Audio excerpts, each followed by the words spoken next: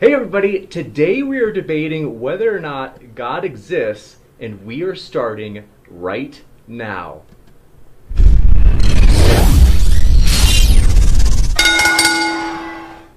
Ladies and gentlemen, thrilled to have you here as we have Jonathan and McLatchie, Jonathan McLatchie and Tom Jump ready to square off in today's SummerSlam debate on God's existence. So this is going to be a lot of fun. We've got a good mix of statements as well as dialogue, namely cross-examination, my favorite part, and then just want to mention a couple of things up front. So quick, I have to explain it. Really sorry. We were supposed to have, just earlier today, a couple hours ago, we were supposed to have the Kent Hovind debate with Mr. Archaeopteryx, in which Kent Hovind was basically going to debate whether or not evolution is a dangerous theory.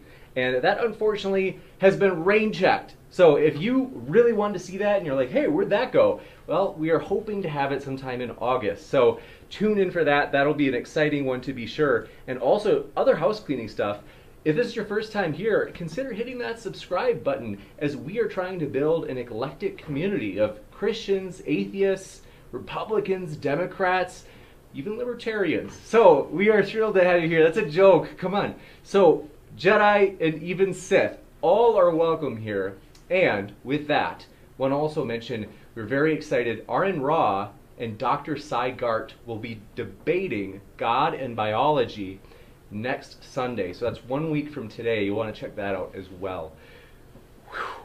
Our speakers both have their links in the description. So if you enjoy what you hear today, I highly encourage you check out their links below because they are both very active in putting out content regularly. Uh, these guys are two of the harder working guys in terms of uh, putting out content in the apologetics, atheism, philosophy of religion world and I am sure you will not be disappointed with their content. So, with that, want to just give you a brief synopsis of today's format, and then we will jump right into it. So, first, 10 minute opening statements from each speaker, followed by. I thought, was, I, thought it was, 20. Oh, that's right. Forgive me about yeah. that. 20, you're right. Thanks. It was 10 minute first rebuttals.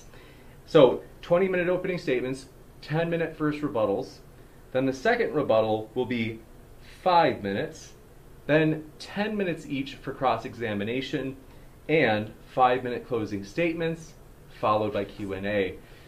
So I am going to make extra quick little house cleaning announcements between our statements, just so we don't have too much up front. And I'm going to set the timer. We usually have the affirmative go first, but I will defer to the debaters and so, debaters, if you guys want to do it differently, where the negation, uh, the negative goes first, that's okay with me. Otherwise, I assume it will be Jonathan, and I will set the timer for 20 minutes. So usually, usually I suggest that the um, affirmative of the proposition goes first because it's their burden of proof, and then the other side has to say why they disagree with their case. I like your thinking, Jonathan. We're on the same page. And last but not least, is everybody's audio okay? I just want to ask if in in the live chat if you can give us any feedback. Just doing a quick audio test because I, I feel like it's it might be my headphones. Maybe I should. They've been through the ringer. Maybe I should say something then, so people can make sure my audio is working. I'll say stuff. There you go. Testing, testing, testing. And then Jonathan. Can you guys hear me? One, two, three. One, two, three. Everybody good? I'm watching the live chat. By the way, if you do not follow Tom on Twitter, he is at not underscore t jump. That is his account, and you will be very pleased. Just kidding, that's a parody account. I love parody accounts, by the way. I honestly think they're funny. I haven't made any. Please don't make any of me, but I do love watching them. So, audio sounds good. Thanks, J.A. Green. Appreciate the feedback. Thanks so much, Hi Harry, as well, and everybody else. You guys are awesome. appreciate your guys' interaction. So, with that, I will start the timer on your first word for your introduction, and thanks for being here, both of you.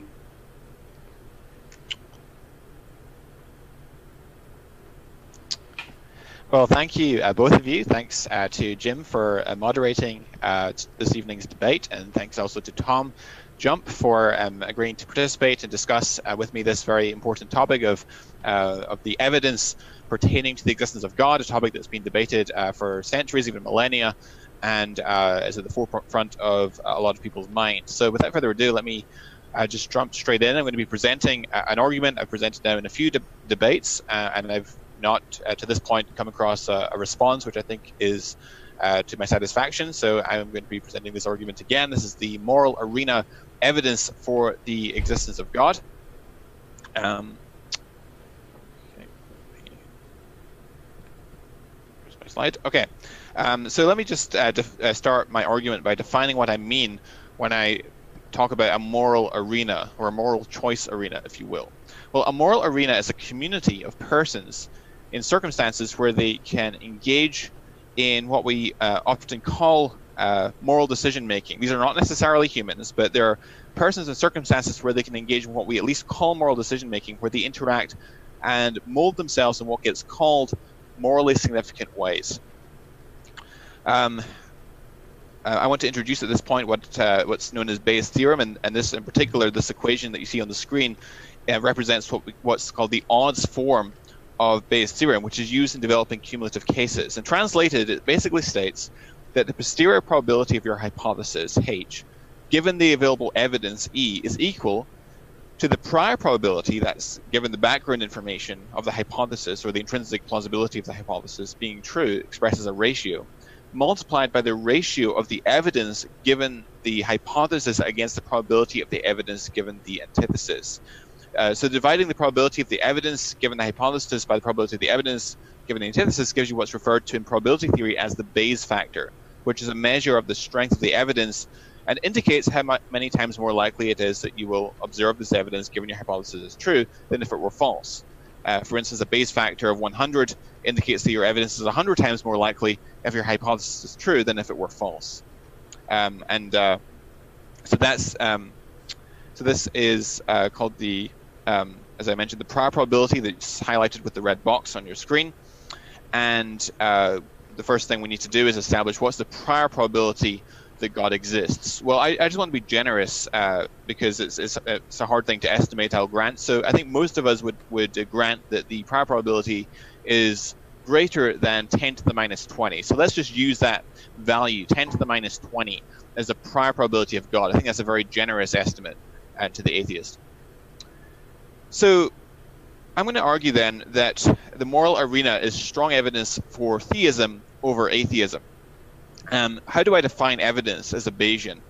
Well, um, evidence, um, as, as I said, I'm going to argue that the, the probability of a moral arena given theism is greater than the probability of a moral arena given atheism, right? So just to give an illustration to help explain this, um, if you imagine you have a court scene and the guy's on trial, and uh, the forensic scientist brings forth the, the murder weapon, and let's say the handle of the murder weapon has the accused's fingerprints on it, well, that would be evidence for the guilt hypothesis over the hypothesis of innocence. It doesn't prove the guilt hypothesis, but it's very strong evidence for the guilt hypothesis because the probability of the fingerprints being on the murder weapon is much greater than the probability of the fingerprints being on the murder weapon, given that he's innocent, that, that, that he's innocent. Um, and so, uh, therefore, it's, it's strong evidence for the guilt hypothesis over the innocence hypothesis. And I'm making a similar argument here when it comes to the existence of God. Um, so let's then talk about the moral arena, the probability of a moral arena, um, given uh, uh, um, theism. So, what is the probability of the moral arena given uh, given uh, theism?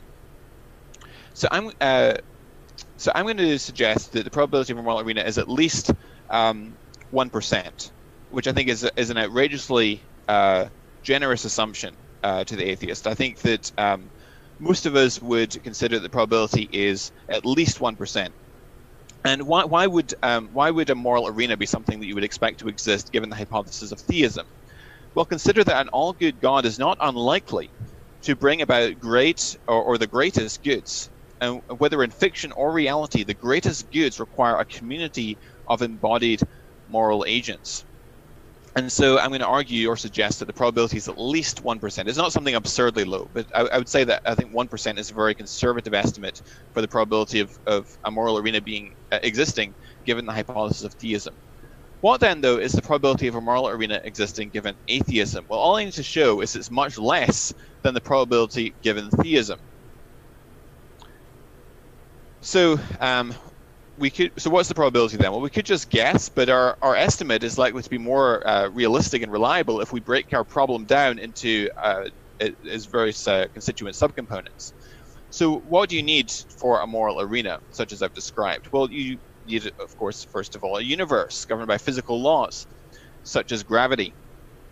Um, and of course, this, the, the, evidence from science very strongly indicates our universe is um, is temporally finite. That is to say that it began to exist at a point in the finite past, um, and so uh, um, we have to explain the origins of our universe um, and the physical laws that govern it, such as gravity, etc. What's the probability on atheism of that happening? Well, I'm just going to say, for the purpose of argument, that the probability is something less than 0.1% on atheism. What? But you don't just need any old universe you need um, specifically a life permitting universe. And it turns out, and physicists have shown, that our universe is um, balanced on a razor's edge for life of any form to exist anywhere, anytime in our universe. We don't just mean life as we know it, but specifically any form of, of life. Um, in fact, in this Nature uh, news article, Brumfiel here confesses, and I quote, if you believe the equations of the world's leading cosmologists, the probability the universe would turn out this way, life permitting, by chance, are infinitesimal. In fact, Luke Barnes, back in 2012, published a review. He's an astrophysicist at University of Sydney in Australia. He published a review of the scientific literature, surveying more than 200 papers, and he says that he can only think of, quote, a handful of physicists that oppose the conclusion of fine-tuning, and piles and piles that support it. Um, in fact, he lists uh, some of the widely recognized constants that require fine tuning for life. Uh, for example, the cosmological constant, which uh, determines how rapidly the universe expands, is thought to be finely tuned to 1 part in 10 raised to the 128th power. So in the denominator, you have after the 1, 120 zeros. That's an extraordinary level of fine tuning. Uh, in fact, if you get it wrong, the universe either expands so rapidly that you only ever get the two lightest elements, hydrogen and helium, or it collapses within picoseconds of the Big Bang. And notice, in such circumstances, no life of any kind could exist. In fact, um, eh, um, Roger Penrose has put forward an argument, uh, or put forward um, uh, uh a mathematical um, calculation that uh, concerning the initial low entropy conditions of our universe. And it turns out that um, uh, so Roger Penrose is a, a, physicist and mathematician at University of Oxford. It turns out that nearly all arrangements of particles in the early universe would have resulted in a, in a lifeless universe of black holes. Tiny inconsistencies in the particle arrangements would be acted on by gravity to grow in size, a positive feedback result since the clumps of particles have an even greater gravitational force on nearby particles. Penrose's analysis shows that in the incredibly dense early universe, most arrangements of particles would have resulted basically in nothing but black holes. And life, of course, certainly can't exist in such a universe. In fact, uh, Penrose calculates that the uh, probability of attaining uh, the initial low entropy conditions of our universe is finely tuned to 1 part in 10 raised to the 10 raised to the 123rd power. So in the denominator, there's more zeros after the 1 than subatomic particles in the known universe. That's how fine tuned uh, our universe is.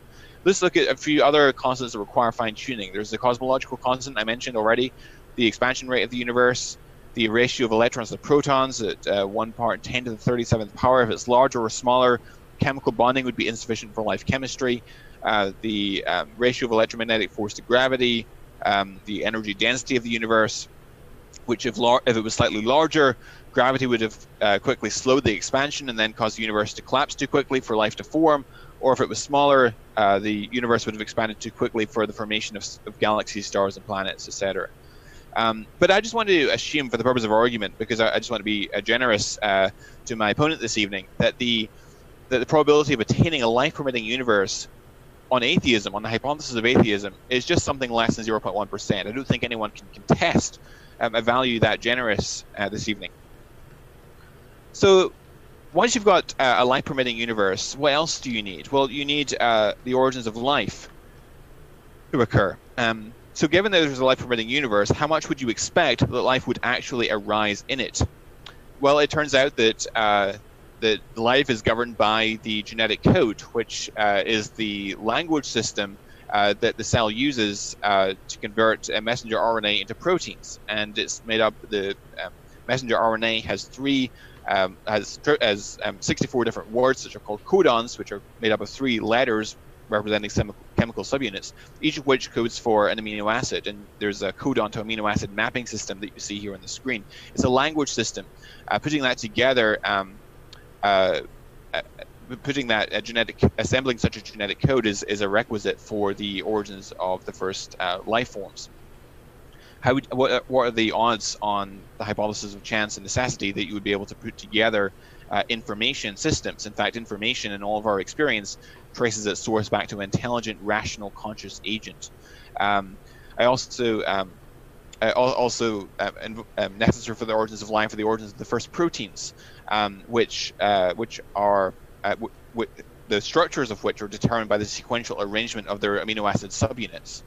Um, and one question we can ask is the ratio of functional uh, protein sequences relative to the uh, um, of non-functional gibberish within uh, that combinatorial sequence space. So if you imagine, so we have 20 different amino acids uh, that make up proteins that we find in life. Um, that means that for a modestly length protein of 150 amino acids, there's 20 raised to 150th power of possible combinations, which is a huge combinatorial space. It's more ways of arranging the amino acids than there are subatomic particles in the known universe. So a question we can ask is how functional are protein folds in combinatorial space. How likely is it that by chance you'll be able to find um, those functional sequences? We know that many of these are, are, functional and there are many of them that are not. So what's the ratio of functional to non-functional sequences? Well, I refer at this point to uh, the work of Dr. Douglas Axe of the Biologic Institute. Um, and uh, he basically conducted what's called a site-directed mutagenesis experiment on an enzyme complex called beta-lactamase, which is an enzyme that confers antibiotic resistance to some bacteria and um, he basically calculates. Um, we can get into the details if you want, but he calculates that the probability of the first proteins, uh, or, or, or, uh, the probability of a, of a randomly um, selected amino acids forming a, a, functional stable structure is one in ten raised to the 74th power, which is an astronomical rarity of uh, stable and functional protein structures within that vast array of combinatorial possibilities. Um, and uh, there's the conclusion uh, from his paper there. Um, so this presents us with a needle in a haystack problem. Locating the functional folds within that vast combinatorial space is like finding a tiny, tiny needle in an enormous haystack and having a very, very limited time to search. But I just want to be generous, and there's much more that could be discussed, such as the homochirality problem and forming the first uh, membranes and so on. But I, I, just want to assume conservatively that the probability on atheism of, of uh, getting the origins of life is something less than uh, 0.1%, which I think is an outrageously uh, generous assumption.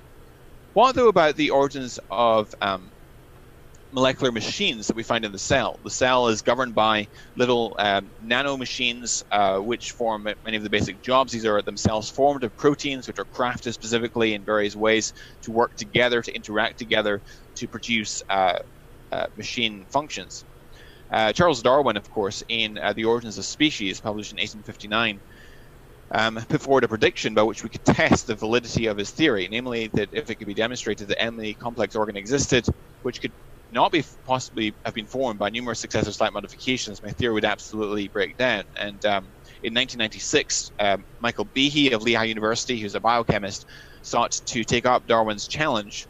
Um, and he defines irreducible complexity um, as follows. Um, he says, by irreducible complex, irreducible complex structures in the cell, I mean a single system composed of several well-matched interacting parts that contribute to the basic function, wherein the removal of any one of the parts causes a system to effectively cease functioning. Um, here we see just a, an array of some of the, the machines that we find in the cell, famously the bacterial flagellum on the top left, which is a rotary motor that propels uh, various bacteria through medium. We see uh, the uh, mitotic spindle apparatus, which is my own area of expertise. Uh, we see um, the DNA replication machinery, the replisome on the top right there. And then at the bottom right, we see um, the cell division machinery in bacteria, which is also extraordinarily complex. Happy to talk about any of these if we want um, to dive, dive into that. But all of these systems require multiple interacting proteins in order to perform their jobs, and I would argue that all of these uh, qualify um, under the definition of irreducible complexity and thus pose a challenge to the neo-Darwinian evolutionary mechanisms. So, um, what's the probability then on atheism, granting all these other things, of molecular machines arising? I'm just going to say, for the purpose of argument, that it's something less than 0.1%. That's all I need for this argument. Um, what then, though, about multicellularity in, in the cell? Because you, we um, as embodied agents, embodied moral agents, aren't composed of just one cell type, but but hundreds, even thousands of cell types. Um, and uh, um, I'm just going to grant. I'm not going to get into the details of this. We can get to the science if we want to later, but for the purpose of time, um, I'm just going to say that the probability on atheism, on the hypothesis of atheism, is just something less than 0.1%. That's all I need for this argument. Um, the origins of animal body plans, in, in uh, which um, and the origins of the developmental pathways that lead to their their construction. Um, also, I think is um, uh, uh is um, probabilistically prohibitive um, on the Darwinian scenario. Uh, if you imagine here, we have uh, the the zygote or the fertilized egg, um, and uh, on leading to the the um, adult form capable of reproduction. This is C. elegans, which is a roundworm, a very well-known model organism in the biological sciences. Um, what is the uh, to go from the zygote to the to the um, final form capable of reproduction, you need to go through this developmental cascade. It basically works through a process of sub, of um, of um, cell differentiation and specification. Um, different types of cells given different jobs, and um, the first cell divides into two, and then into four daughter cells, into 16, and so forth. And it's a very complicated uh, process. But notice that you have to go all the way from the zygote all the way to the um, adult, the, the, the, form capable of reproduction. If you stop midway across that developmental pathway, you don't have a live organism, you have a viable organism, you have a dead organism. You have to get traverse all the way across. But what are the odds that a process lacking foresight could produce such a developmental pathway? I, I think it's very improbable on the hypothesis of atheism. But just for the purpose of argument, I'm just going to assert that the probability of such developmental pathway emerging on atheism is something less than 0.1%. Um, what though about uh, the origins of uh, consciousness uh, in the cell? Um, uh, sorry, consciousness in in in, uh, in conscious in embodied agents, sentient sentient life forms. Um, uh, note, notice that there's there's nothing in known physics that would allow someone to look at the brain and conclude, you know, there there's someone in there. this this thing has first person experiences. So we can't predict consciousness by way of physics and seeing the brain now, one might be tempted to think here that only brains with subjective experiences would avoid pain and so forth, and so we can predict that consciousness would evolve because it's adaptive.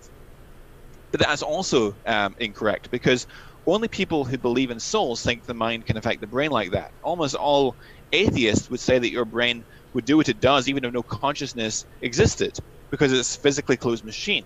All your neurons would fire just the same without you and move your body the same way. Evolutionary history would be identical without subjective experience.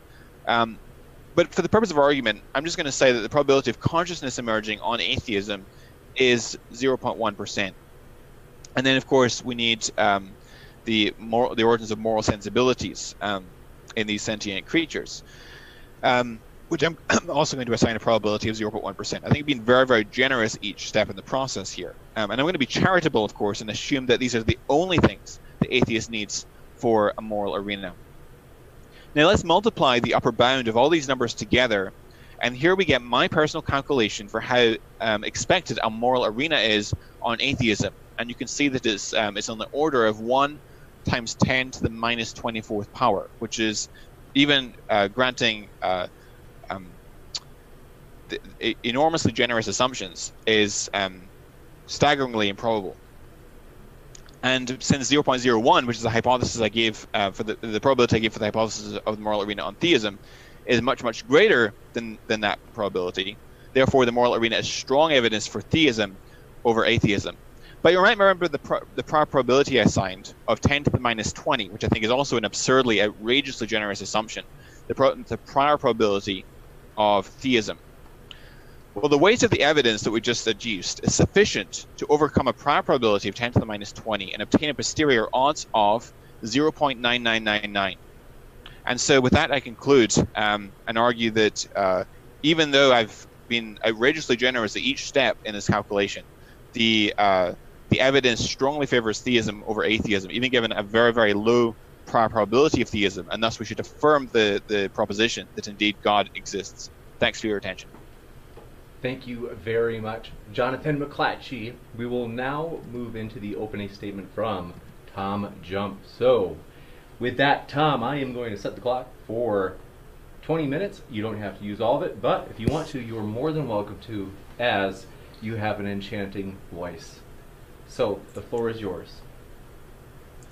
All right, so the question today is Does God exist? Uh, and, well, I can say not the Christian God. It's possible that there is a deistic kind of a God, but the Christian Abrahamic God of the Bible definitely does not exist. We can know this for two reasons. Firstly, there is no reason to believe in the existence of such a God. There is no evidence nor argument that indicates a God any more than any of the non God alternatives. Second, there are many good reasons to believe the Christian God does not exist, such as the contradictory nature of its properties. So the most reasonable position is no, God does not exist. The Christian God, like Zeus, fairies, and Helios, is just a made up by human imagination to explain questions we simply do not have the answer to yet.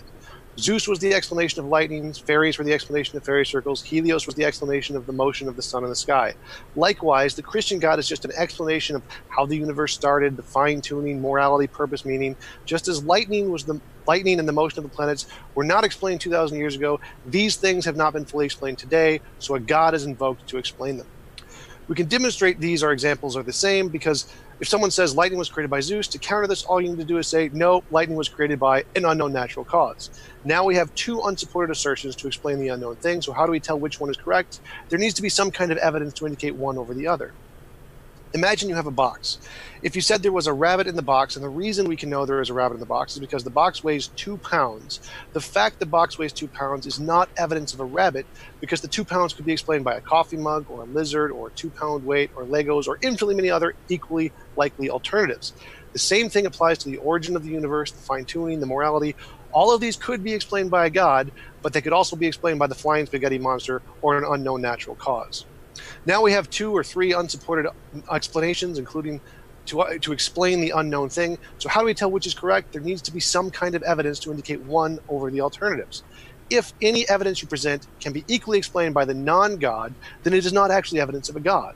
If all evidence and argument presented can be equally explained cumulatively by a non God, then there is no evidence of a God, and all the examples apologists use, like the origin of the universe, the fine tuning, morality, etc., are all just simply things we don't know the answer to, to which God has been slapped on as a made on explanation, just like Zeus was to explain lightning and fairy was, fairies were to explain fairy circles, and Helios was to explain the motion of the sun. Arguments from ignorance. For example, the origin of the universe can be explained by an all powerful eternal thing such as naturalistic pantheism. The fine tuning can be explained by the boundary conditions being intertwined by an undiscovered uh, unifying force or law of nature grounded in naturalistic pantheism. Objective morality can be explained by undiscovered laws of nature like gravity, which permeates the universe, grounded in naturalistic pantheism. All of these together can be explained by non God alternatives better or equally to a God. Therefore, none of these examples are actually evidence of a God, they're just arguments from ignorance. Most theist arguments are of the form the natural can't explain, therefore the supernatural there could absolutely be a supernatural out there. I can't say there isn't. And I can't say what its limitations are. I can't say the supernatural can or can't do this or that because it hasn't been discovered yet. So how could I possibly know what it can or cannot do? It would be a contradiction for me to say the supernatural hasn't been discovered, yet it can it can't do X, Y, and Z. That's like saying, oh look, an unidentified flying object, it must be aliens. If it's unidentified, you can't identify it as aliens, that's a contradiction. But just like this applies to the supernatural, it also applies to the unknown natural. Just like it is a contradiction for me to say the supernatural can't do X, Y, and Z, it's a contradiction for the theist to say the unknown natural can't do X, Y, and Z because both the natural, both the supernatural and the unknown natural are undiscovered. So we, for both, we can't say what it can or can't do. Therefore, anything the supernatural can explain, the unknown natural can explain. In other words, anything a God can explain can be explained by unknown natural forces.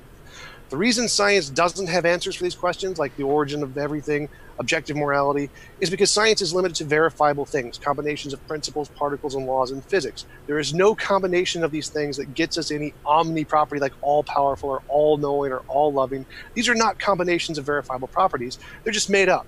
And in science, we're not allowed to use made up properties because it's not a combination of verifiable things.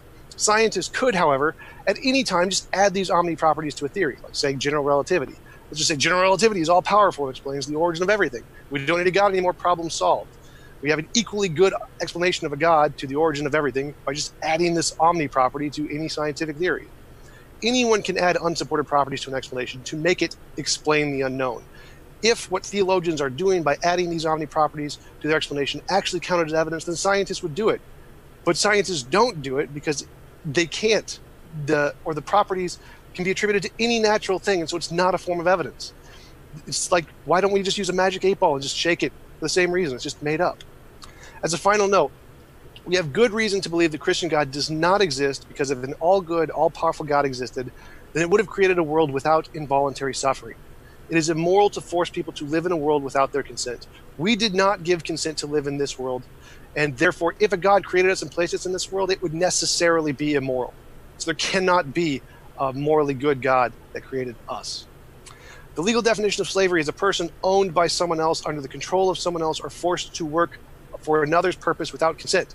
A slave is considered as a property of another, uh, as the one controlling them purchases them or owns them from their birth or creation in this case. If God creates being and forces us to live in this world without with involuntary suffering, without our consent, to fulfill his purposes, whatever they may be, that is by definition slavery and by definition immoral. Also, if we were forced to choose between heaven and hell, and we don't have the option to go to a universe of our own preferred design. That means I am being forced to live for God's purposes without my consent, which is by definition slavery, by definition immoral. An all good, all powerful God could never do this. So the Christian God is impossibility and definitely does not exist by its own definition and what it says that God has done in the Bible. If an all good, all powerful God existed, it would have given every each and every being individually the option to live in a world of their own preferred design or the design of the God if they so choose. But it would never force people to live in a world without their consent. In conclusion, there is no reason to believe in a God, just like there is no reason to believe in Zeus or the fairies or Helios, because anything that's supernatural can explain, the unknown natural can explain. If adding omni properties worked as actual explanation, then scientists would do it. They don't because it's not.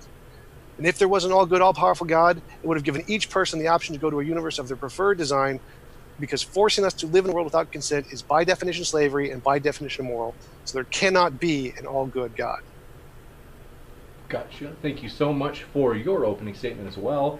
And we will now move into first rebuttals. So these are 10 minutes.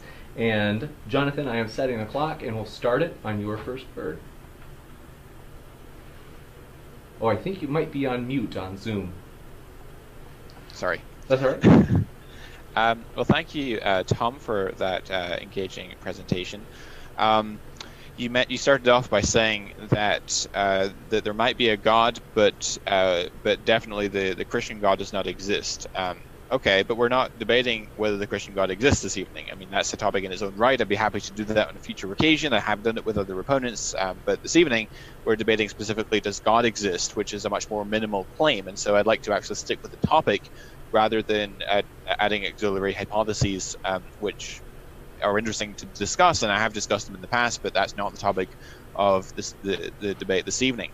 Um, you mentioned uh, the God of the gaps, like the such as the the the belief in the past that the light the lightning was created by Zeus because people didn't understand how lightning was was formed. But the arguments I presented are not God of the gaps arguments. Uh, in fact, I argued that the uh, probability of the relevant evidence given theism is much greater, much, much, much greater um, on the hypothesis of theism than it is on the hypothesis of atheism, and the, and thus uh, it is a positive argument. It's arguing that uh, that the evidence that's before us strongly supports theism over atheism. Furthermore, the the various arguments for God, none of them are, are God of the gaps arguments. For example, um, I'm um, a fan of the intelligent design argument, as what I spent most of my um, my um, time working on uh, when it comes to natural theology um, and uh, and, uh, and and science. And and the intelligent design argument is an argument based not on a God of the gaps premise, but is actually an argument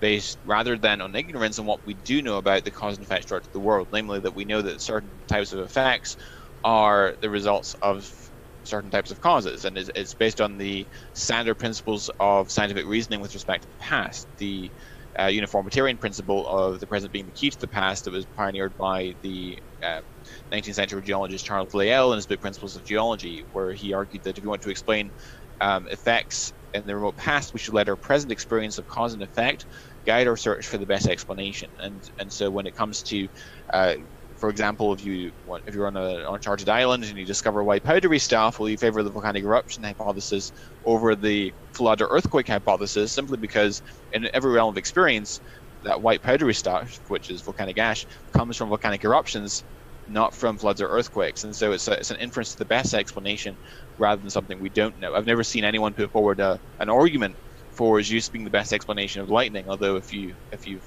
got a source for that, I would like to see it. Um, he mentioned uh, the the rabbit in the box. Um, he says if he hypothesizes or tells me there's a there's a rabbit in the box and hands me the box and the box weighs two pounds, well that could be explained by rabbit being in the box, but it could also be explained by something else of equivalent weight being in the box, uh, and that that is true. Um, but nonetheless, it would still be evidence for the hypothesis that there's a rabbit in the box. It might be not be strong evidence, but it raises the probability of that hypothesis, and thus it is evidence of some form, even if it is weak evidence. Um, and I, am afraid to say that I think my opponent has a mistaken view of what constitutes evidence. Um, uh, if, if, you eliminate hypotheses, uh, if we say we have, let's say we have uh, four hypotheses um, that are contending for the um, for the best explanation of the of the of the evidence, and we can eliminate one of those hypotheses, then we have redistributed the probabilities. So you've then provided evidence that raises the probability of the remaining three hypotheses, unless you've provided evidence um, for these for these hypotheses. And so, insofar as I can discredit naturalism, for example, which is the the most consistent way I would argue of being an atheist, I have eliminated. Um, I, have I've significantly raised the probability of theism being true, and thus I provided um, evidence for theism. Um, likewise, if if we're looking at the the fine tuning of our universe, and we have three contending hypotheses, namely uh, and the, the chance hypothesis, the, necess- the physical necessity hypothesis, and the design hypothesis. If I eliminate either the necessity hypothesis or the chance hypothesis, I even if I leave two contending hypotheses remaining, I've still provided evidence for the design thesis. Um, and one thing that we like to do when we have multiple uh, hypotheses which explain the data equally well is we look for further evidence, and then that um, that uh, then can help distinguish between these remaining possibilities. But you, you, but in eliminating possibilities by redistributing the probabilities in that way, you have provided evidence for your hypothesis. So I disagree with him, uh, with Tom, uh, at an epistemological level at that point. Um, so he said that if evidence can be explained by non-God, then it's no evidence for God. Not necessarily. Um, I mean, you can invoke uh, an infinite number of ad hoc hypotheses, um, but the uh, that, that's why in Bayes' theorem we take into consideration the prior probability as well as the as the evidence. Um, so uh, the prior probability um, is expressed as a ratio, and, and it could be anywhere between zero and one. Uh, a prior probability of one uh, is true definitionally, like 2 plus 2 equals 4, of course, um, that cannot be true. There's no amount of evidence that could overturn that. Um, and uh, the concept of a married bachelor, on the other hand, has a probability of zero. No amount of evidence could is, could warrant a belief that there exists a married bachelor because it's it's, it's self-contradictory. Um, most probabilities, of course, are within that range of zero to one, um, and uh, and I, and so long as the prior probability is non-zero, in principle, you can uh, confirm any proposition by by means of evidence if you have enough evidence that is that is um, sufficient relative to the prior probability of the hypothesis being true, which relates to the intrinsic plausibility um, of the hypothesis. Um, he mentioned uh, naturalistic pantheism uh, as as a potential uh, candidate for explaining the evidence which I uh, um, explained by by God. Uh, I would like, um, perhaps we can get to this in the cross examination, or perhaps uh, Tom could elaborate in his rebuttal what exactly he means by naturalistic pantheism. I have watched several of his past debates, and I know he's a, as a fan of championing this argument uh, or this hypothesis, um, but I but I've never been quite clear exactly what he means by that. And it seems that the more detail that he gives to the hypothesis, the more far fetched and the more implausible uh, it appears to be. And and uh, insofar as it explains the data, the, the more that he modifies the hypothesis to explain the data, the more it seems like theism. Um, and so I, I, would like him to give me some more detail on what naturalistic pantheism actually is in his view and his understanding. Furthermore, I would like to hear Tom Jump's view. Uh, because I understand that he's actually not a naturalistic pantheist, but he's uh, but he likes to um, use naturalistic pantheism as his, as his typical response to uh, theistic apologists. Uh, I would like to hear what Tom Jump's own personal perspective is um, and how he explains the evidence, not how a naturalistic pantheist might explain the evidence.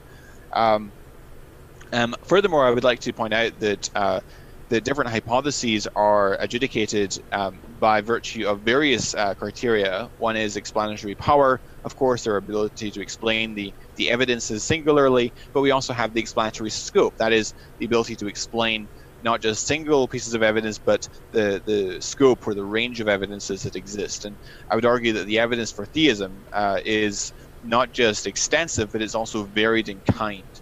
Explain, it explains not just um, one form of evidence, but multiple forms of evidence. Uh, we have the the or why is there something rather than nothing? The cosmological argument, the universe began to exist, um, and God being the best explanation of that. We have the the fine tuning of the laws and constants of physics. We have the origins of life and the information content in the cell.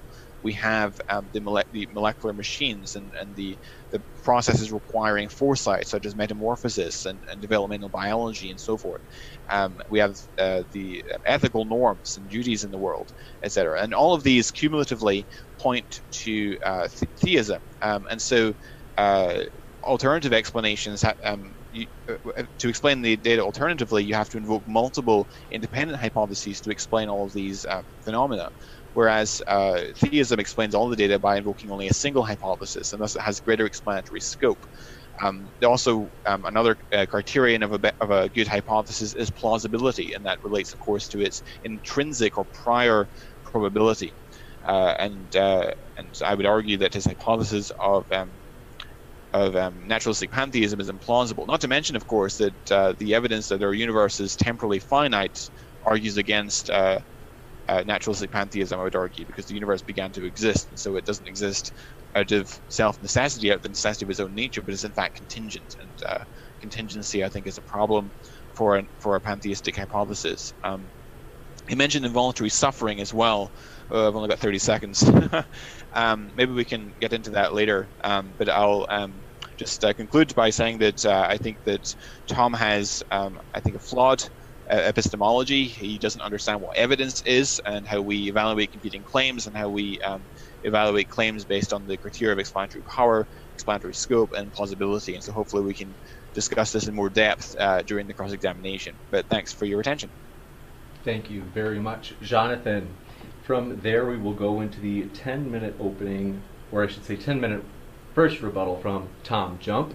And Tom, I have got the clock set for you. One second, I want to mention anybody has questions, feel free to put at modern day debate in the live chat and then ask your question for whoever you want to ask.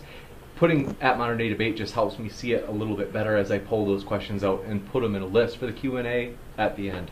So Tom, thanks so much. The floor is yours.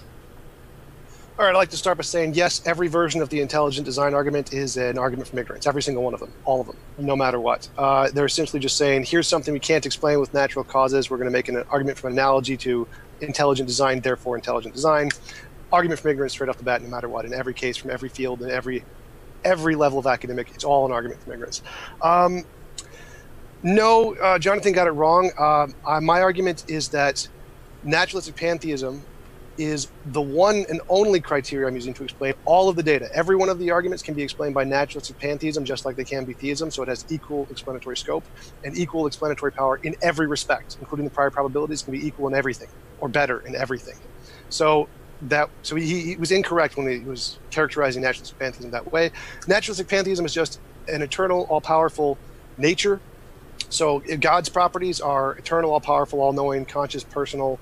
Um, and all good. So if we just take naturalistic pantheism as just two of those six, seven properties, and so if naturalistic pantheism is untenable or unplausible, then God is by definition necessarily more untenable or unplausible because it's only using properties of a God. And by eternal, that could mean outside of space or time or whatever variation of eternal you want to put in there. So again, everything that you put in for the probabilities of Jonathan's argument can be, I can just, let's say, grant all of that because that there are multiple different kinds of gods, you have to multiply that probability by the possible number of potential gods, and then you get the probability of theism.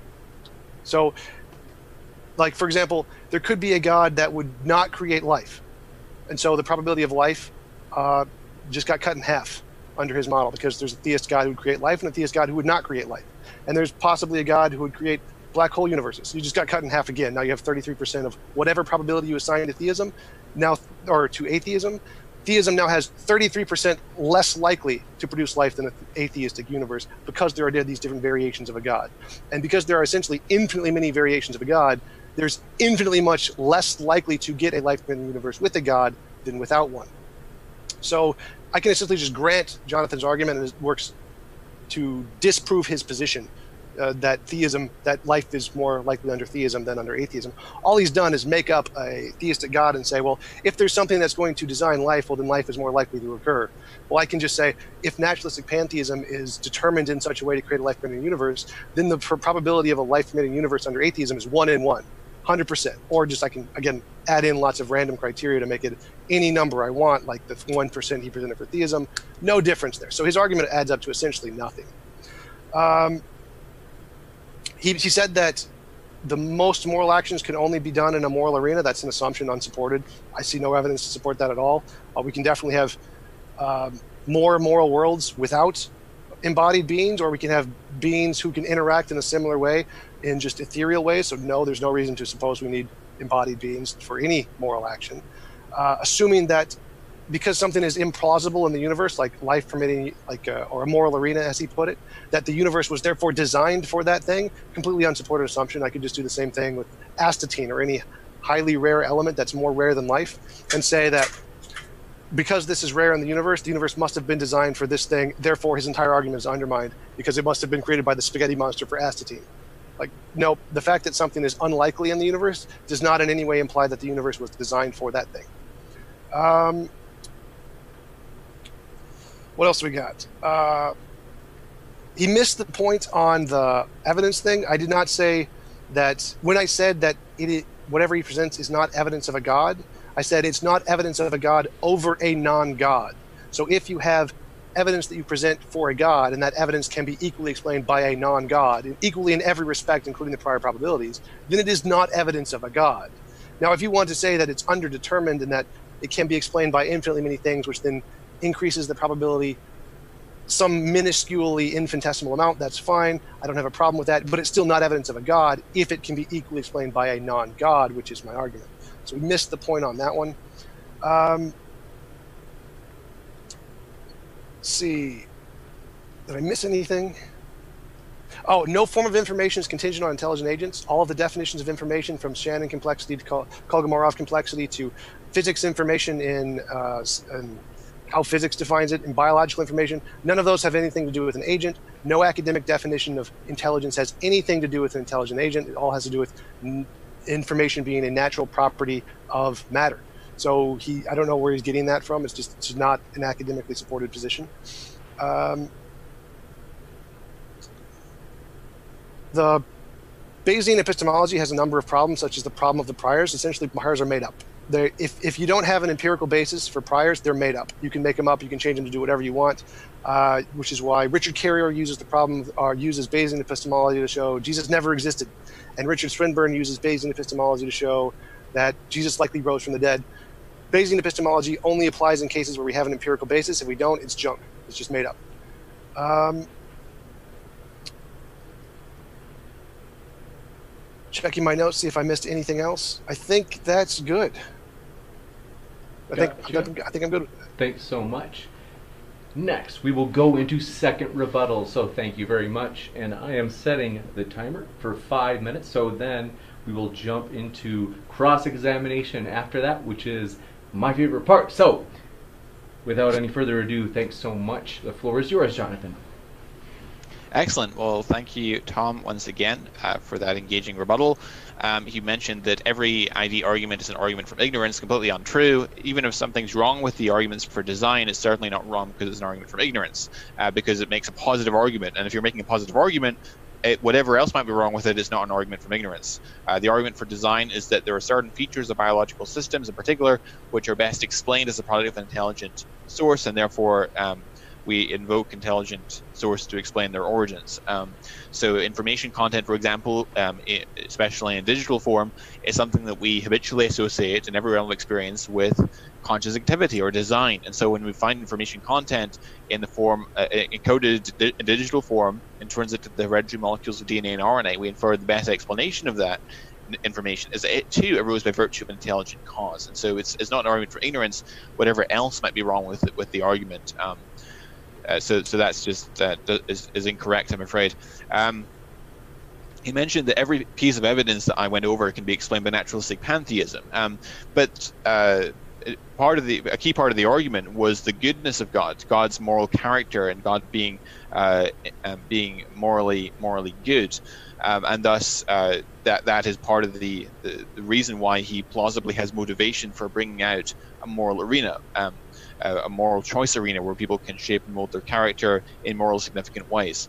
Um, so, so I, I, would like to see how naturalistic pantheism gets on uh, um, with providing a, a, plausible rationale for why uh, we would expect to see a, a, moral arena on the hypothesis of naturalistic pantheism. And of course, to, um, I would argue that um, morality itself uh, presupposes uh, some sort of mind or, uh, or consciousness, um, and uh, I, would like to see how he um, defines naturalistic pantheism in such a way. Um, he mentioned that that there could be a, a god who would not create um, a, a, universe, and so the probability, uh, or would not create life, and so the probability has been cut in half, um, etc. Um, that well, uh, that could be true. I, I didn't. I, I, argued that, in fact, I actually, in, in my argument, I granted that the um, the probability of a moral arena existing on theism was low. I even said um, that for being conservative, I'll make it one percent probability on theism. I could even go further and make it 0.0001%, and I would still have a very powerful argument for theism uh, based on the uh, what, I, what I presented in my opening statement. So um, I, I, don't buy that objection. Uh, he said, why do we need embodied beings? Uh, why couldn't we have um, like uh, spiritual beings or something uh, participating in a moral arena or ethereal beings? Well, let me just go over this part of the argument again. So on the hypothesis of theism, a moral choice, arena is something that God could be plausibly expected to bring about. Why? Because intrinsic to God's very character is the quality of moral goodness, and because of this, it's not unlikely for an omnipotent and omnibenevolent entity to bring about the greatest goods. Now, since the greatest goods require a community of embodied moral agents in a moral choice arena, this is something that it might be plausibly expected for God to bring about. One, uh, and, and of course, um, um, Tom brings up this objection that, well, um, why would God be expected to bring to choose to bring about embodied agents? Well, um, um, it's, it's being embodied specifically that amplifies our ability as agents to affect the world and each other. Uh, a world of physical pushes and pulls greatly increases the number of opportunities for free agents to morally flourish, mold their character, and cooperate with one another. And remember, I didn't. I, I, my argument doesn't rest upon the probability of a moral agent existing given the hypothesis of theism being high, in fact, my argument assumed the probability is low, um, even as low as one percent probability. So, um, so that's that's all I need for this argument.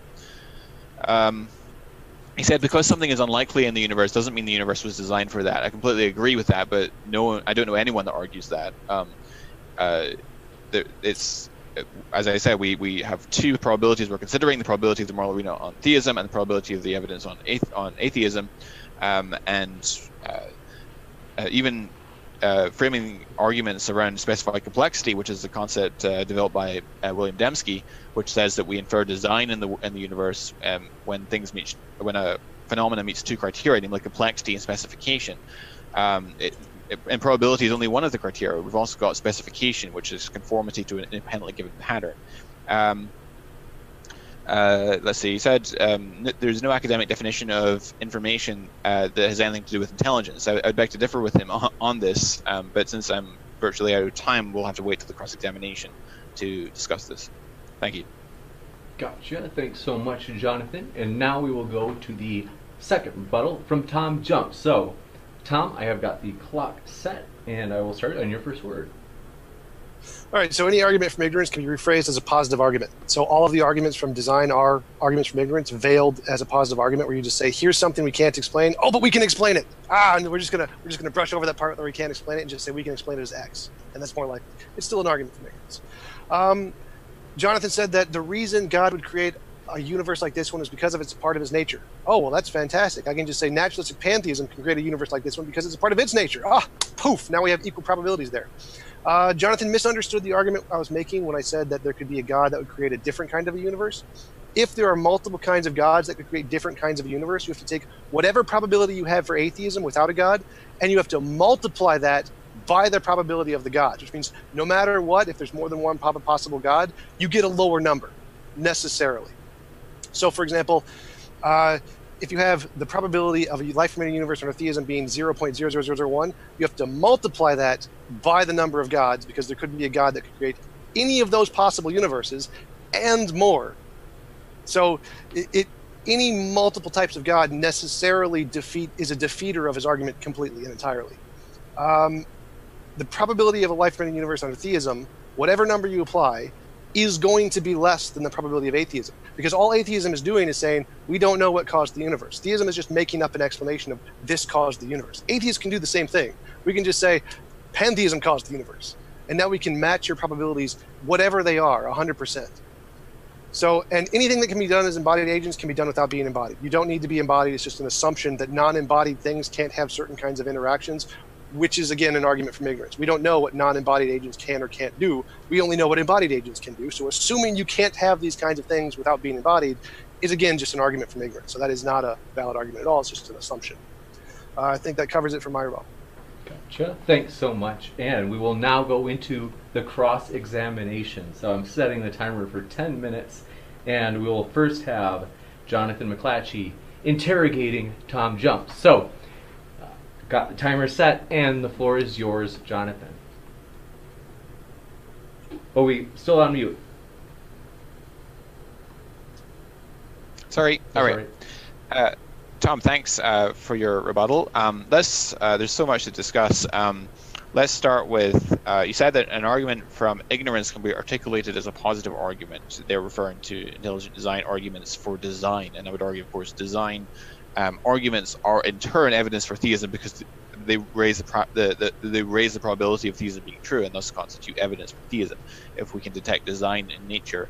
Um, uh, so I, I'm, I'm curious as to why you think it's an argument from ignorance to argue in the abductive way that I described. Because it's the same for lightning, you can say, ah, well, hey, look, there are sparks in the sky. We can create sparks with hammer. Therefore, it must be just a big hammer in the sky created by Thor or Zeus. It's the same thing. You can just rephrase the exact same analogy argument and make it for lightning or fairy circles or Helios in the sun. You can do everything. That's exactly what they were doing. Oh, look, the sun is moving through the sky and we can drag stuff with horses. Therefore, the sun is being dragged by horses. It's a positive argument saying that we can explain this and it's more likely to be explained by this analogous thing that we experience uh, than to some unknown. It's just an argument from ignorance. But in every realm of experience, when we find specified comple- it's complex and specified information content, especially when it's encoded in digital form, it routinely finds its source with an intelligent agent. Uh, so is it Uh, not rational then? Can I Sorry. interrupt you there? Uh, there is no such thing. There's no such thing as specified complexity. It's a made-up property. There, it doesn't exist in biology. It doesn't exist in physics. It's a made-up property.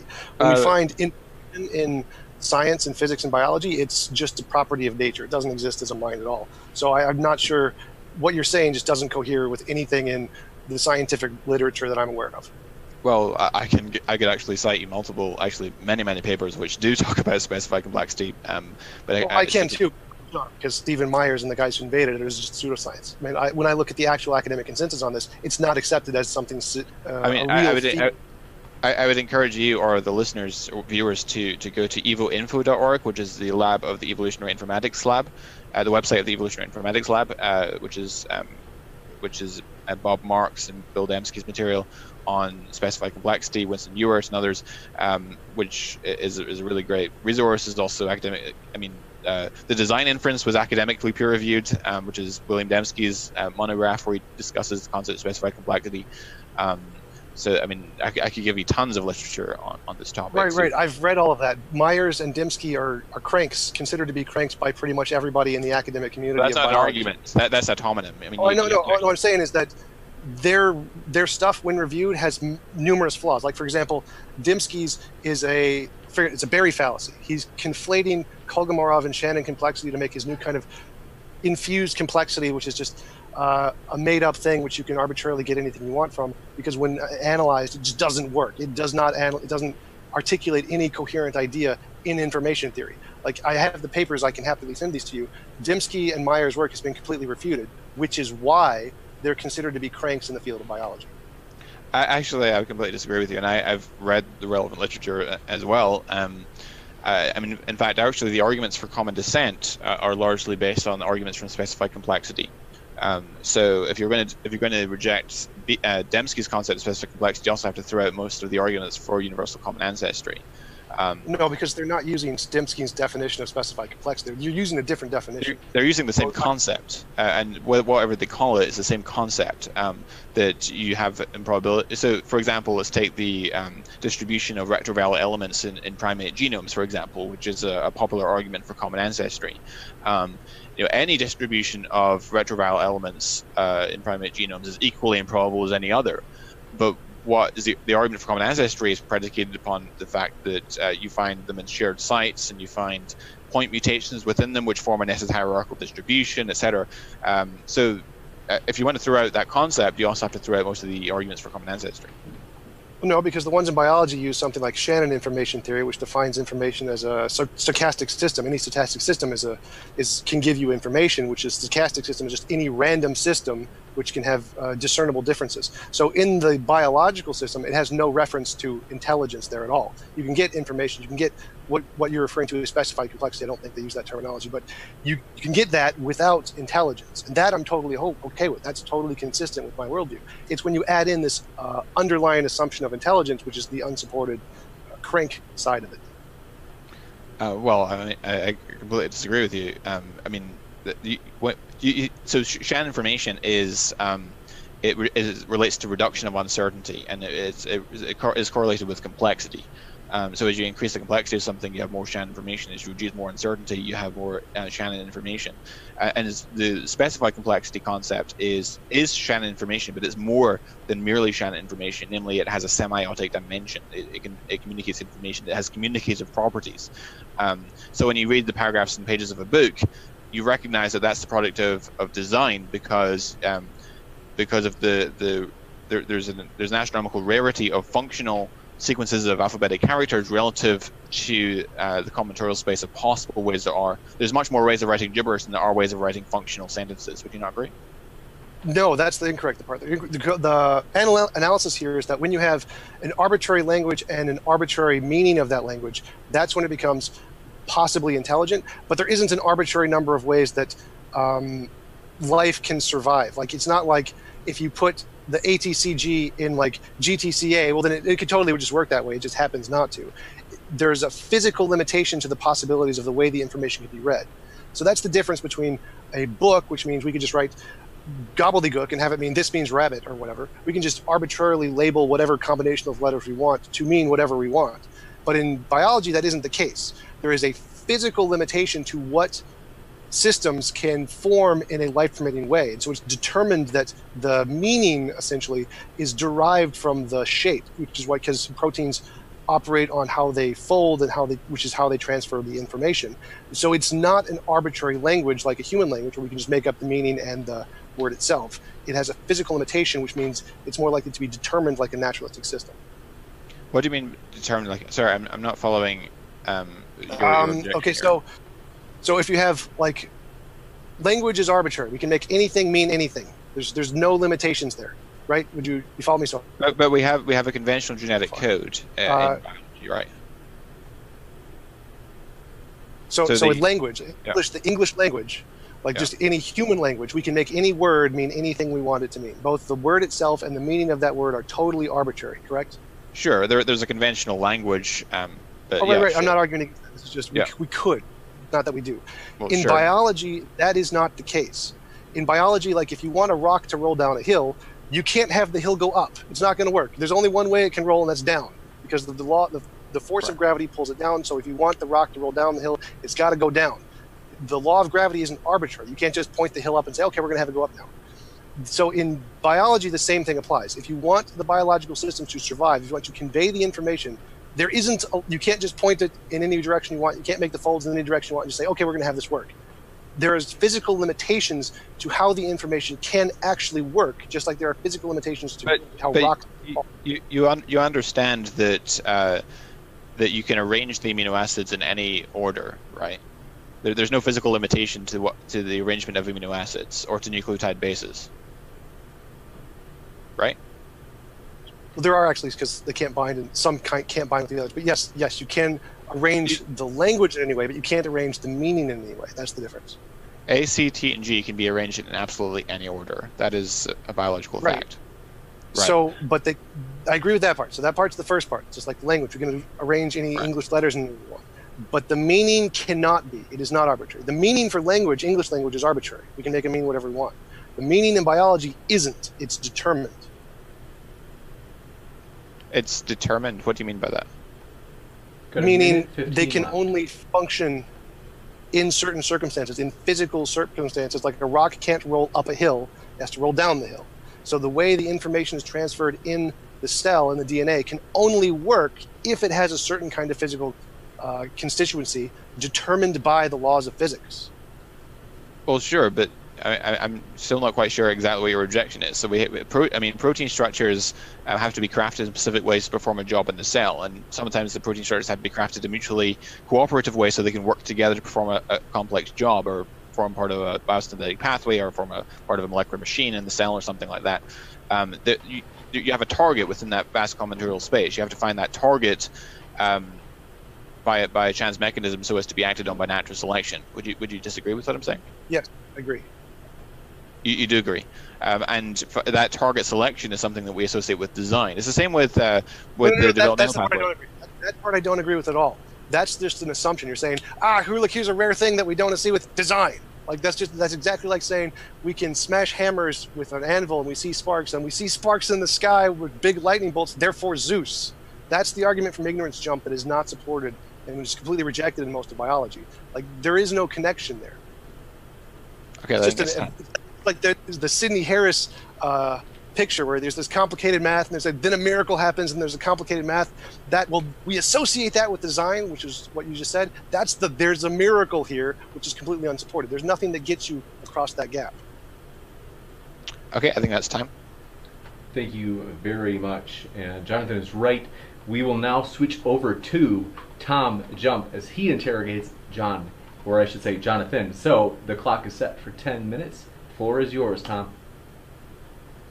all right so you asked about how pantheism can ground morality uh, so god grounds morality because it's a part of his nature right Right. so i can just say pantheism grounds morality because it's a part of its nature Okay, but it, it seems to me that you're. I mean, you're. You. So can you can you just give me a, de- a definition of what you mean when you say naturalistic pantheism again? eternal all powerful nature Okay, and so how would you distinguish it from theism?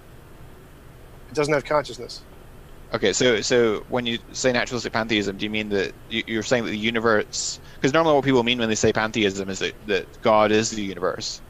No, that's an incorrect. Uh, that's one of the interpretations, but there's actually three branches of pantheism. The most common being the rejection of God. For example, if you go to the Stanford Encyclopedia of Philosophy, go down to the kinds of pantheism. The first one, number one, is physicalism, where it goes through the description of just the nat- naturalistic pantheism is essentially a world where all there is is things that don't go outside of the bounds of what is ontologically uh, verified or, or granted Okay. by science or something like that. So, so you if you said go down to, clarify, if you go down Sure. to the section on personal, it says Einstein was by definite was a pantheist who, by definition, rejected the idea of a personal God, and many pantheists identify that as the key feature of pantheism. There is no consciousness. So. So you said an uh, omnipotent universe, an all-powerful universe. Is that what you said?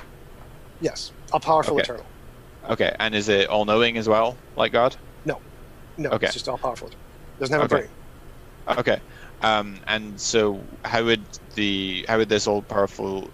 I- I mean, is, is this all-powerful universe necessary or is it contingent? Necessary. It's So, necessary. so just, just to make a distinction, the universe itself, like our universe, is not necessary. Our universe is a contingent thing created by the necessary pantheism. So it's kind of like the multiverse, Okay. where you have one small universe and then the bigger necessary thing behind it. Okay, so so it's so it's another universe beyond our own, which is necessary. Is that what you're saying? Uh, sort of. It's it's the, the the word universe has multiple meanings in different fields. In philosophy, it means all things. In physics, Right, it means just the observable Right. universe. And I'm is just this talking about the and is this universe that you're talking about governed by physical laws? no. Our universe is governed by physical laws. Okay, so so the universe you're describing, the one that you're attributing this naturalistic pantheistic property to, that that does not have physical laws. It might. It might not. What governs it is unknown. So I would not. Physical laws are specifically only contingent to our universe, Okay. and whether or not they apply to this thing is is unknown. And and and so does it have particles, like protons, neutrons, electrons? unknown. Those are only You don't things that are contingent. So, so. I'm, I'm afraid I'm afraid I can't take your hypothesis seriously if you're not going to define it specifically enough for us to test it. Well, we can't test God, so I would just say the same thing Well, applies to God. well, I, I mean, I, I, I can give you definition of God, um, whereas you're every time I ask you something uh, something about the definition of naturalistic pantheism, you're saying, well, we don't know. Um, Oh well, So- you could pick. You you could just pick. Say no. Okay. So I, I, would- in this case, what I would do is I'd say, how do you answer it for God? I'm just going to copy that answer and apply that because there's a broad spectrum of what naturalistic pantheism could be. So it could be either way. Okay. But I would try to go with whatever one is closest to your God that doesn't have conscience. So I would imagine you would say God is not made of particles. So for the sake of argument, I'll say no, pantheism is not made of particles, and no, pantheism does not adhere to the laws of physics or Okay, so are- subject. are, are you a naturalistic pantheist yourself? No. Then what's your explanation of the evidence? Don't know. You don't know. Yeah. the the correct answer is here are all the things we don't know, and there we don't know the answer. That's the that's the correct explanation. Okay, so you, you, you think that the evidence that I've adduced raises the probability of theism and naturalistic pantheism, correct? I'm sorry, your, your mouth clicked it So- out. oh, oh, I'm sorry. You think that the evidence that I adduced in my opening statement would raise the probability of naturalistic pantheism as well as pantheism as, as well as theism? Yes. Okay, so um, and, and you think it would raise the probability significantly, and so these are the contending options. So I'm just curious why you're not a naturalistic pantheist. Because the argument doesn't work. It's complete nonsense from my perspective. So I would say that it's like um, you know the principle of explosion from false that anything falls. Uh, The principle of explosion, I'm not familiar. Uh, it's a principle in logic with a, from if you make a false argument like saying roses are red therefore god exists well you could just there's since there's no connection between those two things we just say roses are red therefore god does not exist it's just because there's Yeah. no connection between the premise and the But- but I- but I haven't- But I haven't made that argument. At, uh, Right, right, right. So, so from my position, your argument is equally as coherent as saying roses are red, therefore God. There's no connection between anything you said and a God existing, from my perspective. So, I would not grant that as evidence for theism we- or pantheism. I just consider it gibberish. But we consider two things. We consider the probability of a moral arena on theism, a very generous estimate, and a generous estimate for the pro- for the probability of a of moral arena existing on atheism. And we saw that one was higher than the other. Right? Right. So, I don't. So, I don't. First thing, I don't grant. The Bayesian epistemology cannot, in my system, in my understanding, be applied to anything that doesn't have an empirical basis. If you're applying it to things that don't have an empirical basis, it's garbage. Doesn't apply. It's like saying the square root of a pork chop. Uh, but if I grant that and say, if we say that we can apply Bayesian epistemology in this way, I would say that using your own system, theism is less likely than atheism because we have to take all of the numbers you put for atheism and then multiply that to make it an even smaller number for the number of possible gods. Because there could be a god that could create an ex- a universe exactly like ours, or with one difference, or with two differences, or with three differences, or with four differences of any Right, possible variation. Well, sure. I mean, I, I, I'm I'm only claiming that the argument uh, is provides you with with strong support for generic theism. I mean, I'm not adding Well, no, but auxiliary I'm not, hypotheses I here. don't think you're following. I'm, I think so. Again, any number you come up with atheism, if you have to take that number and then you have to make it smaller for theism, so the probability of theism was necessarily lower than the probability of atheism, no matter what. That's my argument. Sorry, why is that? because there's multiple kinds of a god. So you have to take here's the probability of this universe under theism, and then you can say, well, there's a different kind of theism. The probability of Well, this universe. well, sure. under this You, you mean like there's Christian theism and then there's Muslim Islamic theism and and so forth? Is- that what you mean?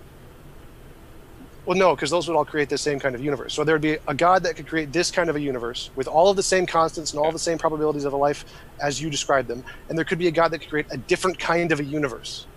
So, like a god who create a non-life permitting universe, or a god who create black hole permitting universes, or only black holes, or god Right. who creates a universe just all of suffering. And so each one of those is a possibility of theism. And so if we look at those possibilities, just arbitrarily, the probability of any one of those is one in three. The probability of God creating a life permitting universe, a God, a probability of God creating a non-life permitting universe, and probability of God creating just a abject immoral universe. Those are three kinds of theism, and just using prior probabilities of Bayesian epistemology, there's one in three, a 33% chance of all of them. And then you have to apply that to the, the universe you apply, which only can exist under the one of them. So you have to divide that number, whatever you came up with for the atheist universe, by three.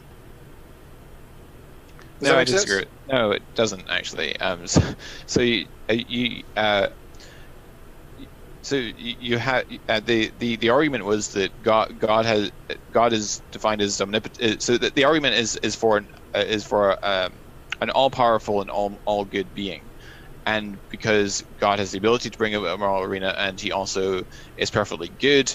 Therefore, it's it's un, it's not totally. It wouldn't be totally unsurprising if he brought about a moral arena for the reasons I described in my opening statement. Um, and so even so, I, my argument doesn't even assume that the probability on theism is high. Um, it could be low for all, all the argument cares.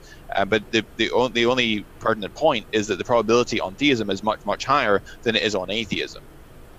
Okay, so you've defined a God as only being one that would create this kind of universe. You're limiting it and saying no other kind of God could ever be considered a God. By your definition, the only thing that can be considered a God is one that would potentially Well, create. sure, this there there universe. there are. Well, sure, there there could be other other gods that could create this universe. So Or so, so I mean, you- my, my, arg- my argument is only for God. I mean, I'm, I'm not ruling. I'm, Right, right. my argument is only Sorry. for God. So, so by your definition of God, you have excluded all possible gods that would not create this universe. You're saying those aren't gods by definition, correct? Um, a, a God is a some integral to, to being a God is being maximally good.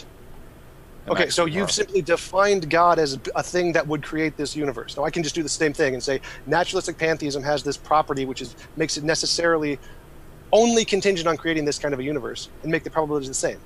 I can just say, well, okay, so the only possibility, if you're going to say that God is by definition something that would potentially create this universe, I can just say naturalistic pantheism is by definition something that would potentially create this universe and match your probabilities one for one. But the, the, the, the point is that it's it's it's an argument for a maximally good being. I mean, it does it doesn't uh, and and and you know, a very powerful being to be to have the ability to bring about such a moral arena. So it, it, it I'm not arguing against you all the properties of God, and um, so um, I, I'm- and I'm not quite sure how your naturalistic pantheism is differing from theism. And it seems that in order to have in order to, to be maximally good, you would have to have some conscious mind to, to be able to discern. good clarify. from bad. Yep. Okay. All right, let me clarify. So you have made up a property of all good. You've said your God has this property of all good, and having this property makes it likely that he's going to create this kind of a universe. I can just make up a different property, doesn't matter what it is. I'm just going to reject your definition of all good and say there's property X, and say this property X makes a life permitting universe likely. The universe has this property X, therefore a life permitting universe is likely. Okay. That's time. Gotcha. Thank you so much. We will now move into the closing statements, which will be five minutes, and we will start with Jonathan. I have the clock set for you, Jonathan, and the floor is yours. Well, thank you um, again for a very spirited engagement. Um, uh, you'll recall my opening statement. I presented the moral arena evidence for God, um, where I argued uh, that because God is maximally good, uh, it's not at all unsurprising that he would bring about a moral arena. Um, but I went with a conservative estimate of the probability on theism at 1%. You could argue that it's lower than that, but um, I, am just uh, uh, demonstrating how the um, methodology works. Um, and, I, and then I so we evaluated the probability on theism and went with a very generous estimate, and then the probability of the moral arena existing on atheism, and we saw that even given uh, outrageously generous assumptions, the probability for moral arena existing on theism is much much higher than that on atheism. Um, my um, opponent this evening, um, I'm, I'm, afraid to say, was, is is very um, confused about epistemology and the nature of evidence. Uh, he doesn't. Um, it's so he he, he thinks that having uh, multiple hypotheses which ex- which can explain uh, effects doesn't mean that uh, a particular observation could be evidence uh, that raises the probability of both. Um, he um, invokes naturalistic pantheism, but his definition of naturalistic pantheism is extremely vague. Um, and insofar as it explains the data, it gets more and more like theism. Uh, and the more I ask him to give details of what he means by naturalistic pantheism, the more uh, absurd his hypothesis seems to be. He's very ill-informed, I'm afraid, on ID arguments, um, which and also information theory. Um, he claims that intelligent design is an argument from ignorance, uh, whereas, uh, as I've shown, uh, intelligent design is not an argument based on what we don't know, but the cause and effect structure of the world, but based on what we do know, namely that information is uh, uniformly and habitually associated with conscious, rational, deliberative agency or intelligent design. Um, and there are many features of biology which, which uh, seem to require a process of foresight to bring about, such as developmental biology, uh, metamorphosis, irreducible complex nanomachines in the cell, etc., etc. Um, and of course, a process involving foresight is fundamentally indistinguishable from intelligence. Uh, so, um, he um, he mentioned that uh, every piece of evidence can be explained by naturalistic pantheism, uh, but uh, the nature of the of the being that my argument supports is an all-powerful and all-good being, um, and to recognize the greatest good, it seems to me that the entity would have to have consciousness and to be able to decide between what options maximize the good. Um, also would require consciousness, and so um, his argument, his, his alternative hypothesis seems to be um, very difficult to distinguish from theism. Um,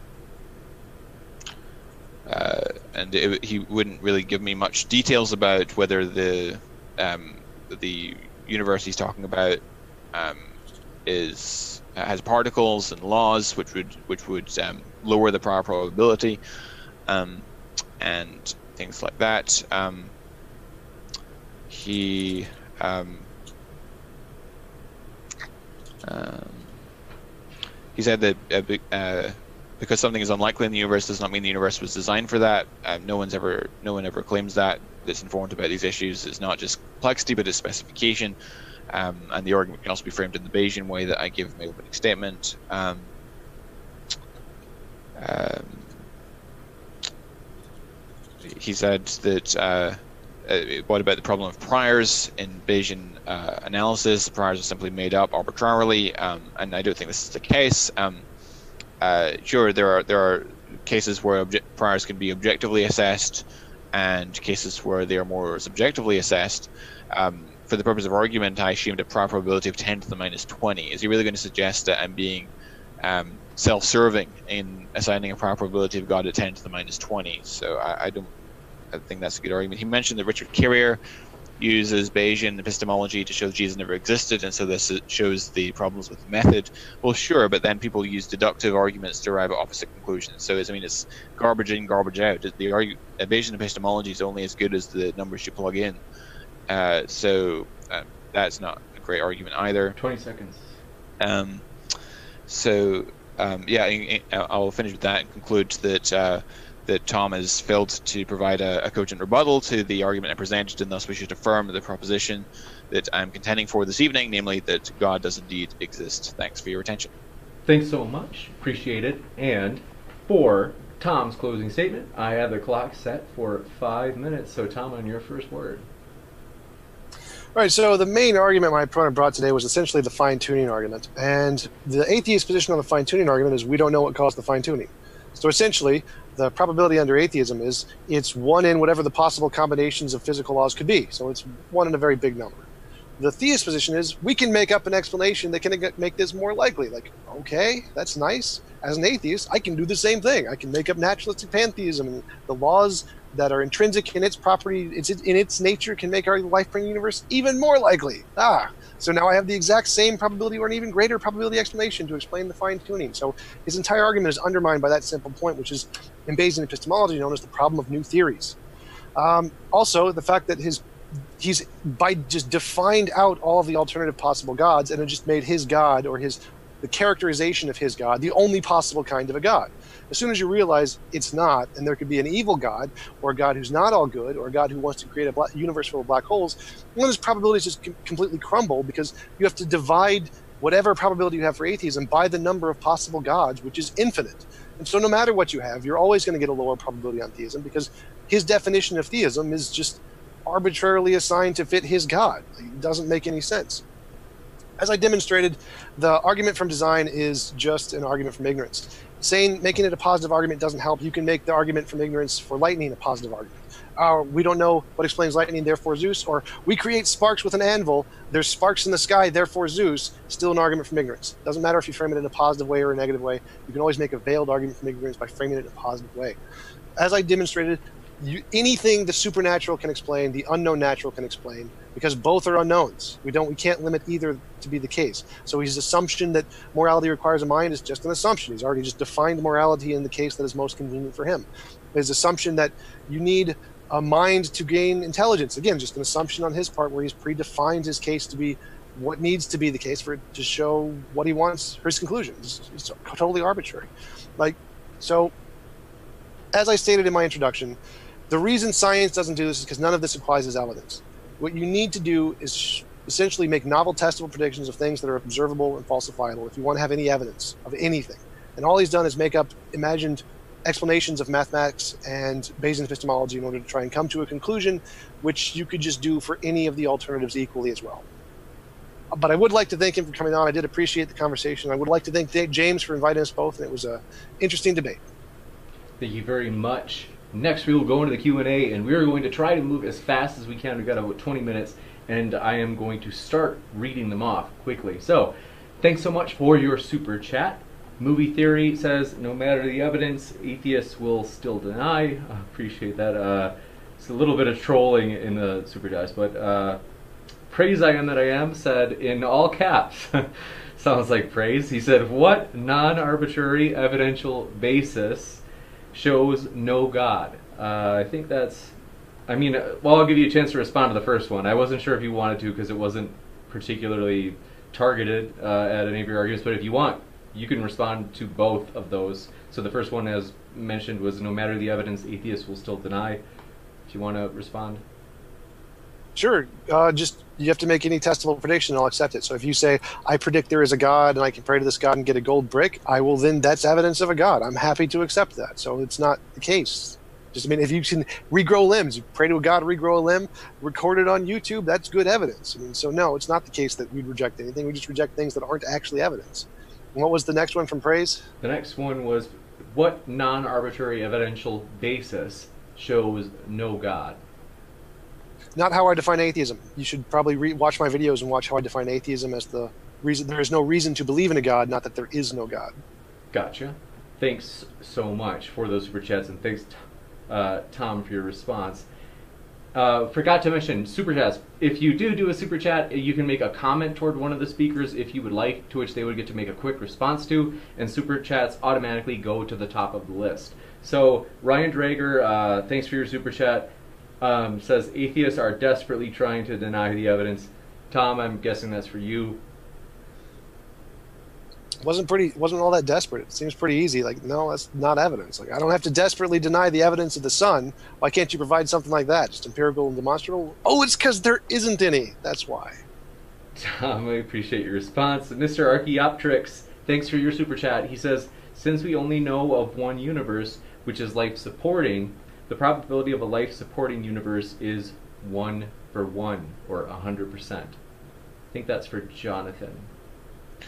Uh, but the the universe could have been different. I mean, how is it one out of one? I mean, the the law. There's no reason why the laws and constants have to be the way they are. Uh, they could have been otherwise. Um, uh, yes, that's the, this is the way we observe it, but uh, um, but we still have to account for the fact that it's this way, not some other way. I mean, it's the same. I mean, I could make the same argument. Say we're playing poker, and uh, I'm the card dealer, and uh, I deal myself. Um, let's say 20 royal flushes, which is the strongest hand in poker, in a row, um, and uh, you could say, I think there's some cheating going on. There's some evidence for cheating uh, because it's, it's, highly improbable that you would, uh, by chance, get um, that many royal flushes in a row. And I could say, well, the probability is actually one out of one because look, it happened. Um, I mean, that's not um, how we go about uh, evaluating evidence. Gotcha. Thanks so much. Next up, we have Ashley M, thanks for your super chat. If you wanted to attach a question to it, let me know and we can read that out for you. But uh, still saw the super chat and we appreciate your support. So, the Jim Tanker, thanks for your super chat. He says, Can we get some real time fact checking during a live debate? I know that it would not allow a theist to talk, but it's a little bit trollish as well. So, so my guess is that's for you, Jonathan you want. You don't have to respond if you don't want to. Well, I mean, I mean, just point out one factual thing I got wrong. I mean, you might dispute the, the structure of my argument, but I, I think you'll find, um, at least I'm pretty sure, there's no factual mistake in what I presented. You got it. Thanks so much. And next up, questions. Hi, Harry. Thanks so much for your question. Glad to see you. He says for McLatchie about the physical constraints. Instead of finely tuned, could they be emergent, i.e., g is equal to related related to curvature of space-time and momentum energy. So um, I might be wrong, but where I think he's going with that is perhaps uh, the physical necessity hypothesis, um, which is to say that um, that the universe, that the laws and constants just happen to occupy the values that they do, um, it, because they, they have to out of some sort of physical necessity. There's some perhaps undiscovered law which uh, which makes uh, which constrains the, the values that they can occupy. My response to that would be that it just kicks the, the fine tuning up one level um, because then you would have to explain why that um, higher law um, makes the values come out just that which happens to support life to exist in the universe. So you would just have to explain that that um, that law that that um, higher level um, law and and so you just kick the fine tuning argument upstairs essentially in that. Oh, can I clarify the question a little bit? So yeah, yeah. you can just say there's a necessary natural law. You say, okay, so there's a law that causes the universe to be this way, and it's necessary instead of a god. Um, yeah. Th- then the question would be, why does that law cause the universe to turn out in a manner that is conducive to life, as opposed to some other way? It's, it's necessary. So again, it's part of its need. Um, like a part of God's nature, his his moral nature. This would be a part of its nature. Um, okay, but that, that that would be a rather arbitrary law. Um, I mean, why would it be? Why would it be conducive to intelligent life as opposed to something else? God. Um, right. Same so thing would apply that, to God. Sorry. Well, the same thing would apply to God. Saying God has a moral nature would be equally as arbitrary. But we should probably go on with the questions. Well, I mean, I don't think it's arbitrary because God is maximally great. That's that's God is the greatest conceivable being. Um, by definition. God, God, yeah. So I could just, by definition, pantheism is has this property X, or this necessary natural law. Gotcha. So okay, go on. So sorry, Jonathan. I know you got a response. I just want to to get through as many cues, uh, unless you highly, highly insist. I do have a new super chat just came in. Uh, Sigifredo Sarabia, thanks for your super chat. He said, if an atheist agrees the universe created them, is it fair to ask, quote, what created their creator? If nothing created the universe, how are they even here? So yes, that would be fair. You could say who created the creator, and I could say who created God. And just like the theist does, you can just slap the necessary label on a natural thing, like an undiscovered uh, natural pantheism or an undiscovered law of nature. Just you can say there is a necessary God. It's kind of an arbitrary property that can go to just whatever you want it to. Um, I, I, just to just to respond there to the question of who created God or who designed the designer, um, there's a few responses there. Uh, one is that in order to posit an explanation as the best does not require you to have an explanation of that explanation, otherwise you would lead to an infinite regress of explanations that never explain anything.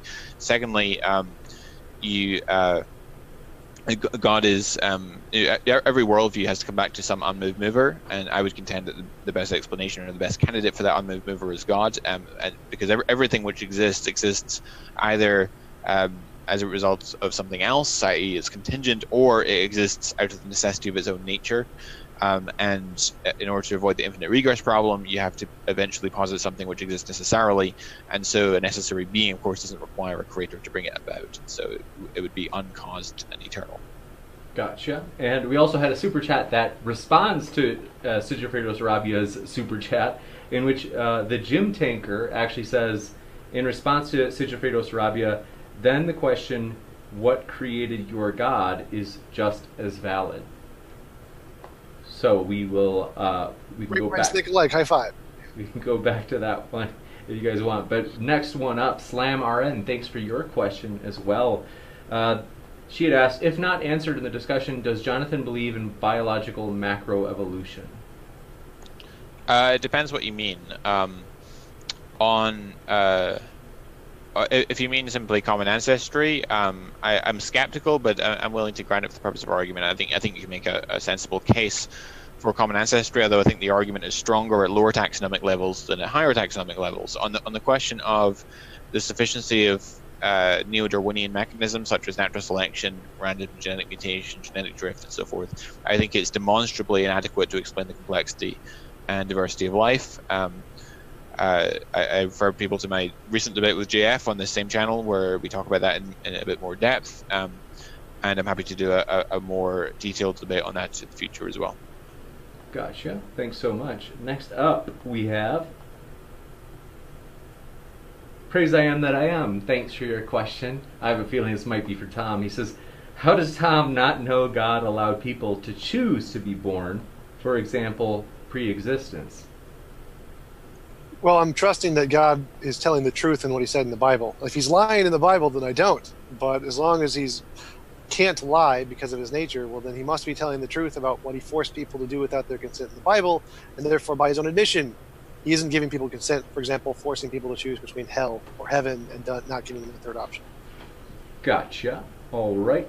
Next up, J.R. Byrne, thanks for your question. J.R. asks uh, C.S. Lewis describes Tom Jump's idea of the quote unquote best possible world as hell. How do we determine who is right? Or is it relative? well, C.S. Lewis, if he was in my world, could just go to the Christian world. So it would be very confusing for him to call that hell if he's calling his own choice to be a Christian hell. So I'm not really sure what he's going for there, but I'm pretty sure C.S. Lewis wasn't aware of my definition of the best of all possible worlds because it didn't exist before he died. Gotcha. Okay, next up, the Crawdaddy. Thanks for your question. He says, uh, for Jonathan, removing a hypothesis from four competing hypotheses gives absolutely no credibility to the other three.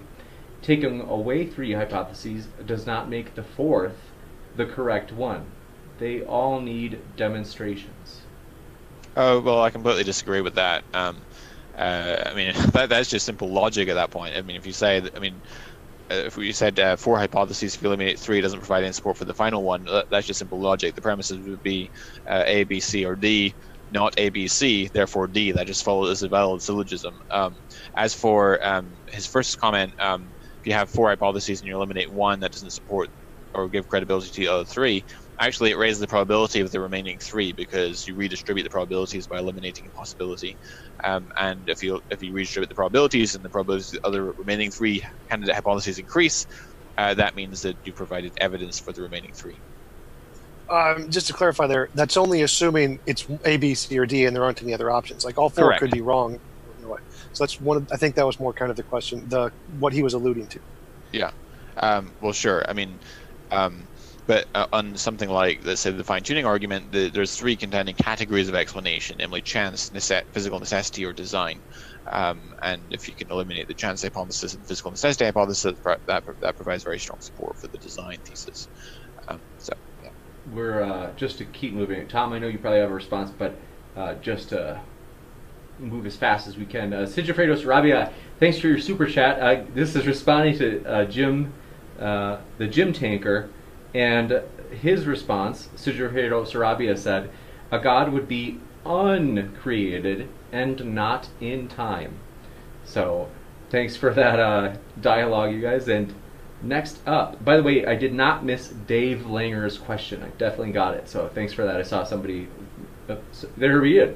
Uh, for John, since he thinks the universe was finely tuned, does that mean God had no choice in how the universe was created?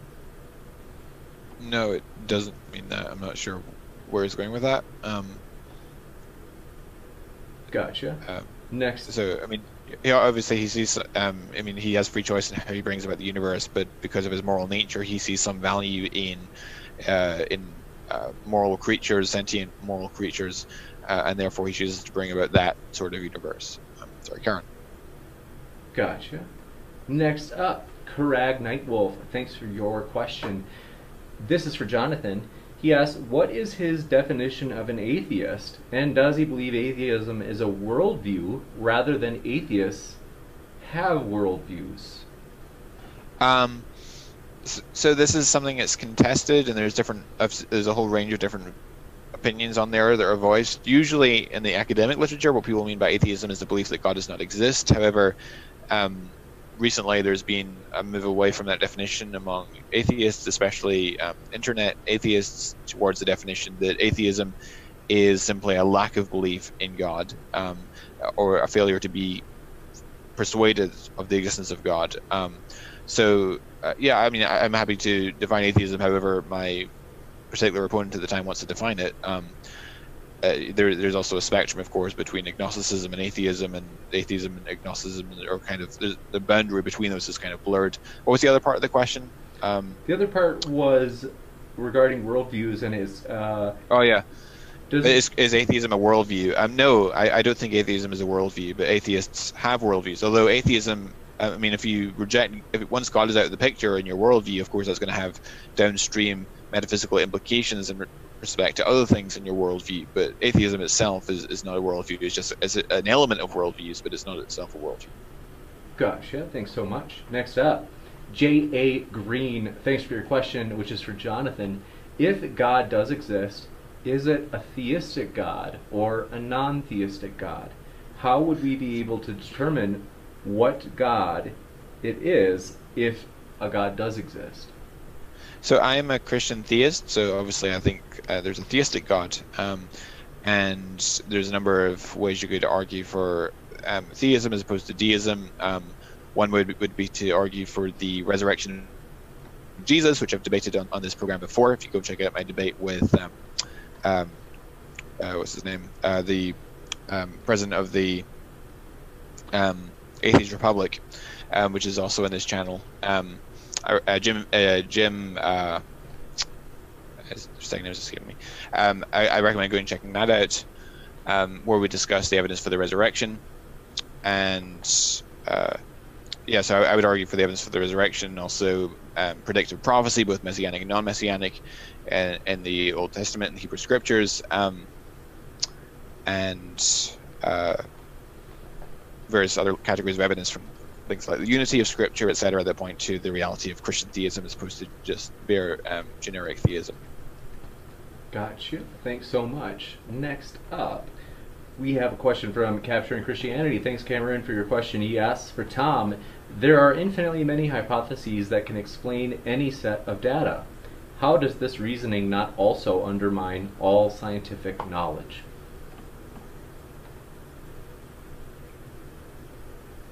Think we might have you. Uh, I think you might. Yeah, I was I was muted. So yeah, scientific testable predictions are whichever one can be first used to make the future testable predictions. That one has a more likely possibility of being true than any of the others that can only post hoc explain it. And since we only have one, or one person comes up with one that can make predictions before anybody else, that one's the best. So it doesn't undermine scientific theories because there is one that is discernibly better than the others because it can be used to make future testable predictions before any of the others. Gotcha. Thanks so much. And we just had a new super chat come in. This is from J.R. Byrne. And uh, forgive me if I mispronounced it. Uh, JRS, uh, he says, C.S. Lewis describes hell as getting exactly what you will. Is that different than Tom Jump's definition? Who is right? Is it relative? no, I'd be totally okay with that kind of a hell. If I get to go to my own universe and design it however I want, and that's what I will, and that's hell, I'm good with that. I'm okay with that hell. Gotcha. Next up, Subtracted, thanks for your question, or super chat as well. And Subtracted asks If God is outside of space and time, how could God create something if creation is a transition and transition is temporal?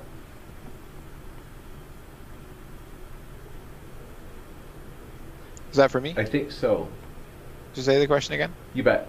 They ask If God is outside of space and time, how could God create something if creation is a transition and transition is temporal? Oh, right, I see. Um, so, um, so this is a, this is an argument that William Lane Craig has made for um, for it being a, a, personal agency because um, if you um, if, if, you have a um, an eternal set of necessary and sufficient conditions, the effect is necessarily there. Um, but if you have um, um, um, if, if you if you have the, the, the cause being simultaneous with uh, so one way to get around this problem is to have the cause simultaneous with the effect. Um, so let me explain. If you imagine um, uh, if you imagine a, a, log that's floating in the water, um, for example, if the log's been floating there for all eternity, causing the water to be displaced, uh, there um, if that's uh, if that if that if that's the log's been floating there for all eternity, then the effect is also eternal. Likewise, if water if the temperature is zero degrees, then the then water is frozen. If it's been frozen, if the temperature is zero degrees from all eternity, the water has been frozen from all eternity.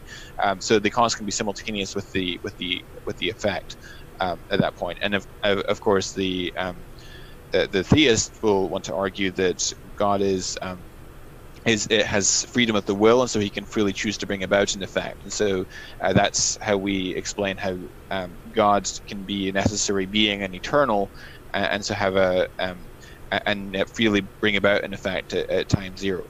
Um, so so um, um, because otherwise, if you have an eternal set of necessary, necessary and sufficient conditions, the effect is also there from all eternity. So that's that's how theists get around that that problem. Gotcha. That makes sense. You bet. Thanks so much. Next up, Jeffrey per- Paris. Forgive me if I mispronounced it. Uh, correct me. And this question is for both. It's isn't it possible that there are fully explanatory naturalistic models for one, more, or all of the quote unquote layers Jonathan presented that we just haven't discovered yet?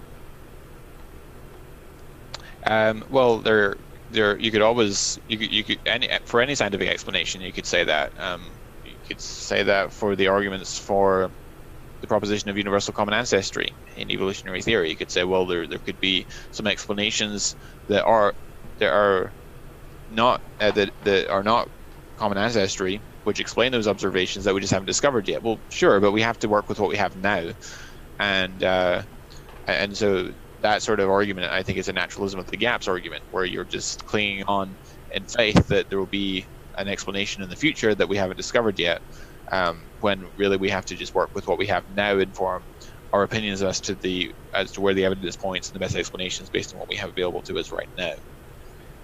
Gotcha. Thanks so You much. said that was for both of us? Tom, What'd you say? go ahead. You said that was for both of us? Yes.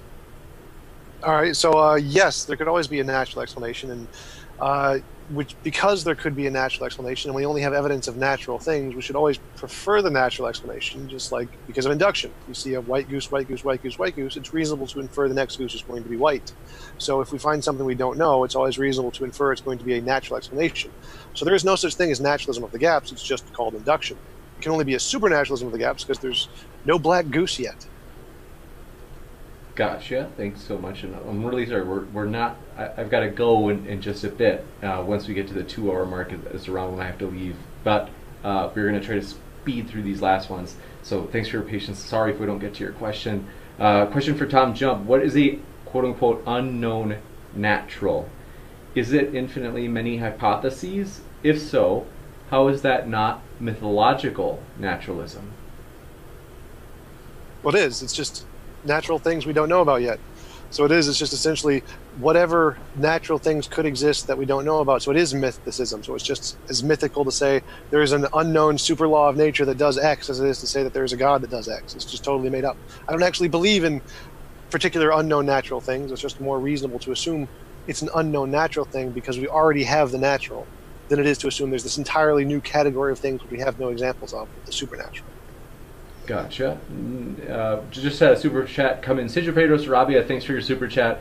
He said Isaiah 45 7 says, I form the light and create darkness. I make peace and create evil. I, the Lord, do all these things. And then Sigifredo asks, Is this denied by Christians and why? So I guess that would be for Jonathan. Um, so, uh, Isaiah 45, 7, did you say? What was the reference? That's Isaiah 45, I think it was 7. Yep, 45 7. Isaiah 45, 7. I found, um, yeah, so um, what, I'm not, quite sure what his point is, but sure, yeah, I, I agree with that.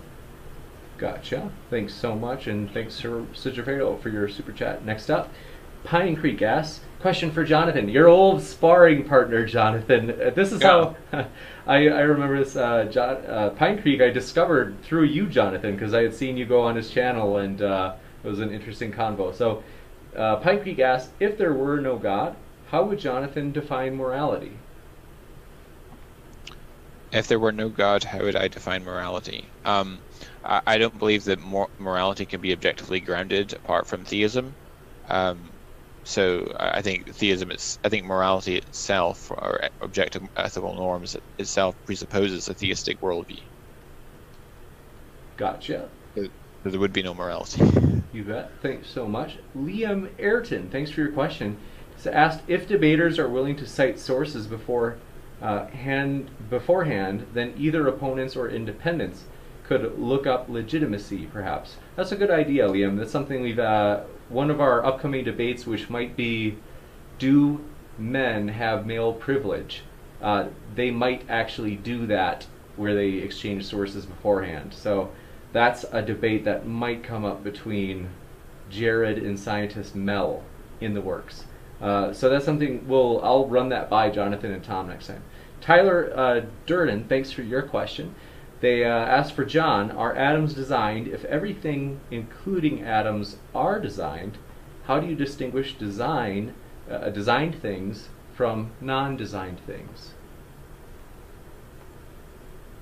How do we distinguish design from non-designed things? So the argument, um, so um, the argument is okay. Um, to take the illustration of Paley's watchmaker, um, what if the whole um, we recognize a watch on a heath because we can discriminate between the watch which is designed versus things which are not designed and what if we have and to make the the argument from nature we're asserting the whole universe is a watch and so how do we differentiate between design and non-design um, because uh, of the phenomenon of specified complexity um, you consider for example the um, Mount, um, Mount, Rushmore in South Dakota which has the um, the, pres- the faces of four U.S. presidents chiseled onto the, the cliff face um, that rock formation is designed, and yet we can we can distinguish it quite readily from things which are just the product of wind and erosion. Um, and likewise, we do this in I think biological systems that and the universe and nature generally. When we find that phenomenon of specified complexity, we intuitively infer it, um, design as the best explanation because specified complexity we know from experience comes from conscious agents. Gotcha. Thanks so much trying to speed through. Uh, Akiraz Kiz Kizanidi, correct me if I say it wrong. If everything is designed, what designed God? What designed what? Where did what come from? What is before what? We've already addressed this. Maybe move on for the Got it. sake of time. Arn Ruervik, thanks for your question for McLatchie, if God didn't exist, would you want to know? Oh, absolutely. Um, I don't want to waste my life on something that's not true. Um, so that, that's actually why I read a lot of atheist books. That's why I, I listen to a lot of atheist podcasts and, and do debates with atheist scholars and thinkers, um, and invite atheists onto my webinar on Saturdays because I really want to know. Um, I, I, really want my beliefs to be true. I, I want to. If, if, Christianity wasn't true, I want to know it. So absolutely. Um, I'm a Christian because I'm persuaded by the public evidence that Christianity is objectively true. And uh, if I wasn't persuaded by that public evidence, I wouldn't be a Christian. And if, if Christianity wasn't true, I, I would certainly want to know that rather than base my life on something that's delusional. Gotcha. Thanks so much. Uh, Rai Rez, thanks for your question. For John, if a schizophrenic says God talks to them, does John believe it? Why? And how can he know? Um, well, I would be skeptical. Um, uh, if the person has a history of mental health conditions, that might give me even more um, reason for skepticism. Um, so um, yeah, and, and, also we, we we know of plenty of people who claim to have such experiences and suffer from mental health conditions, and so that's a plausible explanation for why people hear voices and so forth. Um, so that would be the explanation that I would favor in, in such a case. Um, that's all I'd say to that. Gotcha. Thanks so much. Epic price for, uh, let's see, for Tom Jump, if this natural pantheism is eternal, how can it change its state to create a universe? Unless you, unless you states multiverse, but infinity cannot metaphysically exist. I think he was maybe. Yes, there. It's, I can just take it. Yes, there can be actual infinites. There are absolutely no paradoxes with actual infinites. It's all made up. Um, you can have eternal change. There's no problem with that. By eternal, you could have something that exists outside of space time. For example, there are physics theories where there are things that exist outside of space time, like uh, Nima Arkani Hamed's amplituhedron, Sean Carroll's emergent space time. Uh, so there are lots of different ways to accomplish that. Um, many, there's probably infinitely many that we don't know of ways to accomplish that. So there's not really an issue there for my theory. Gotcha. Last one. Uh, forgive me.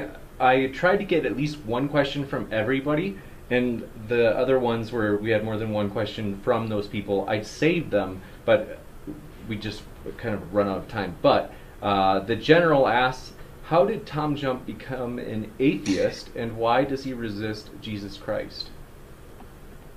Um, I became an atheist in high school. None of my prayers were ever answered. I just lost faith. The reason I resist Jesus Christ now is because all the evidence is against him. There's no evidence for the existence of a God, and the properties of a God are self mutually exclusive. So the Christian God is definitely out, and the fact that there's any there's no evidence for any other kind of a God that could potentially exist. We appreciate your response and thank you so much, everybody, for your questions.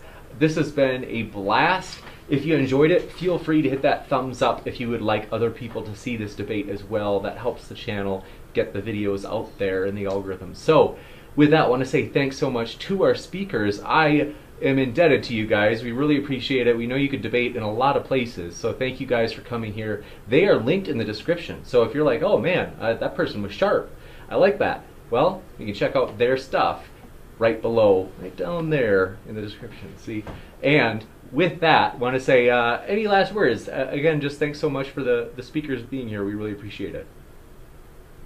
Well, yeah, thanks, thanks so for having us on. You betcha. So with that, take care, everybody. Keep sifting through the re or keep sifting. What's my phrase? I forgot it. keep sifting. Reasonable from the unreasonable. That's right. Keep sifting the reasonable from the unreasonable. Long day. Thanks so much. Take care, everybody.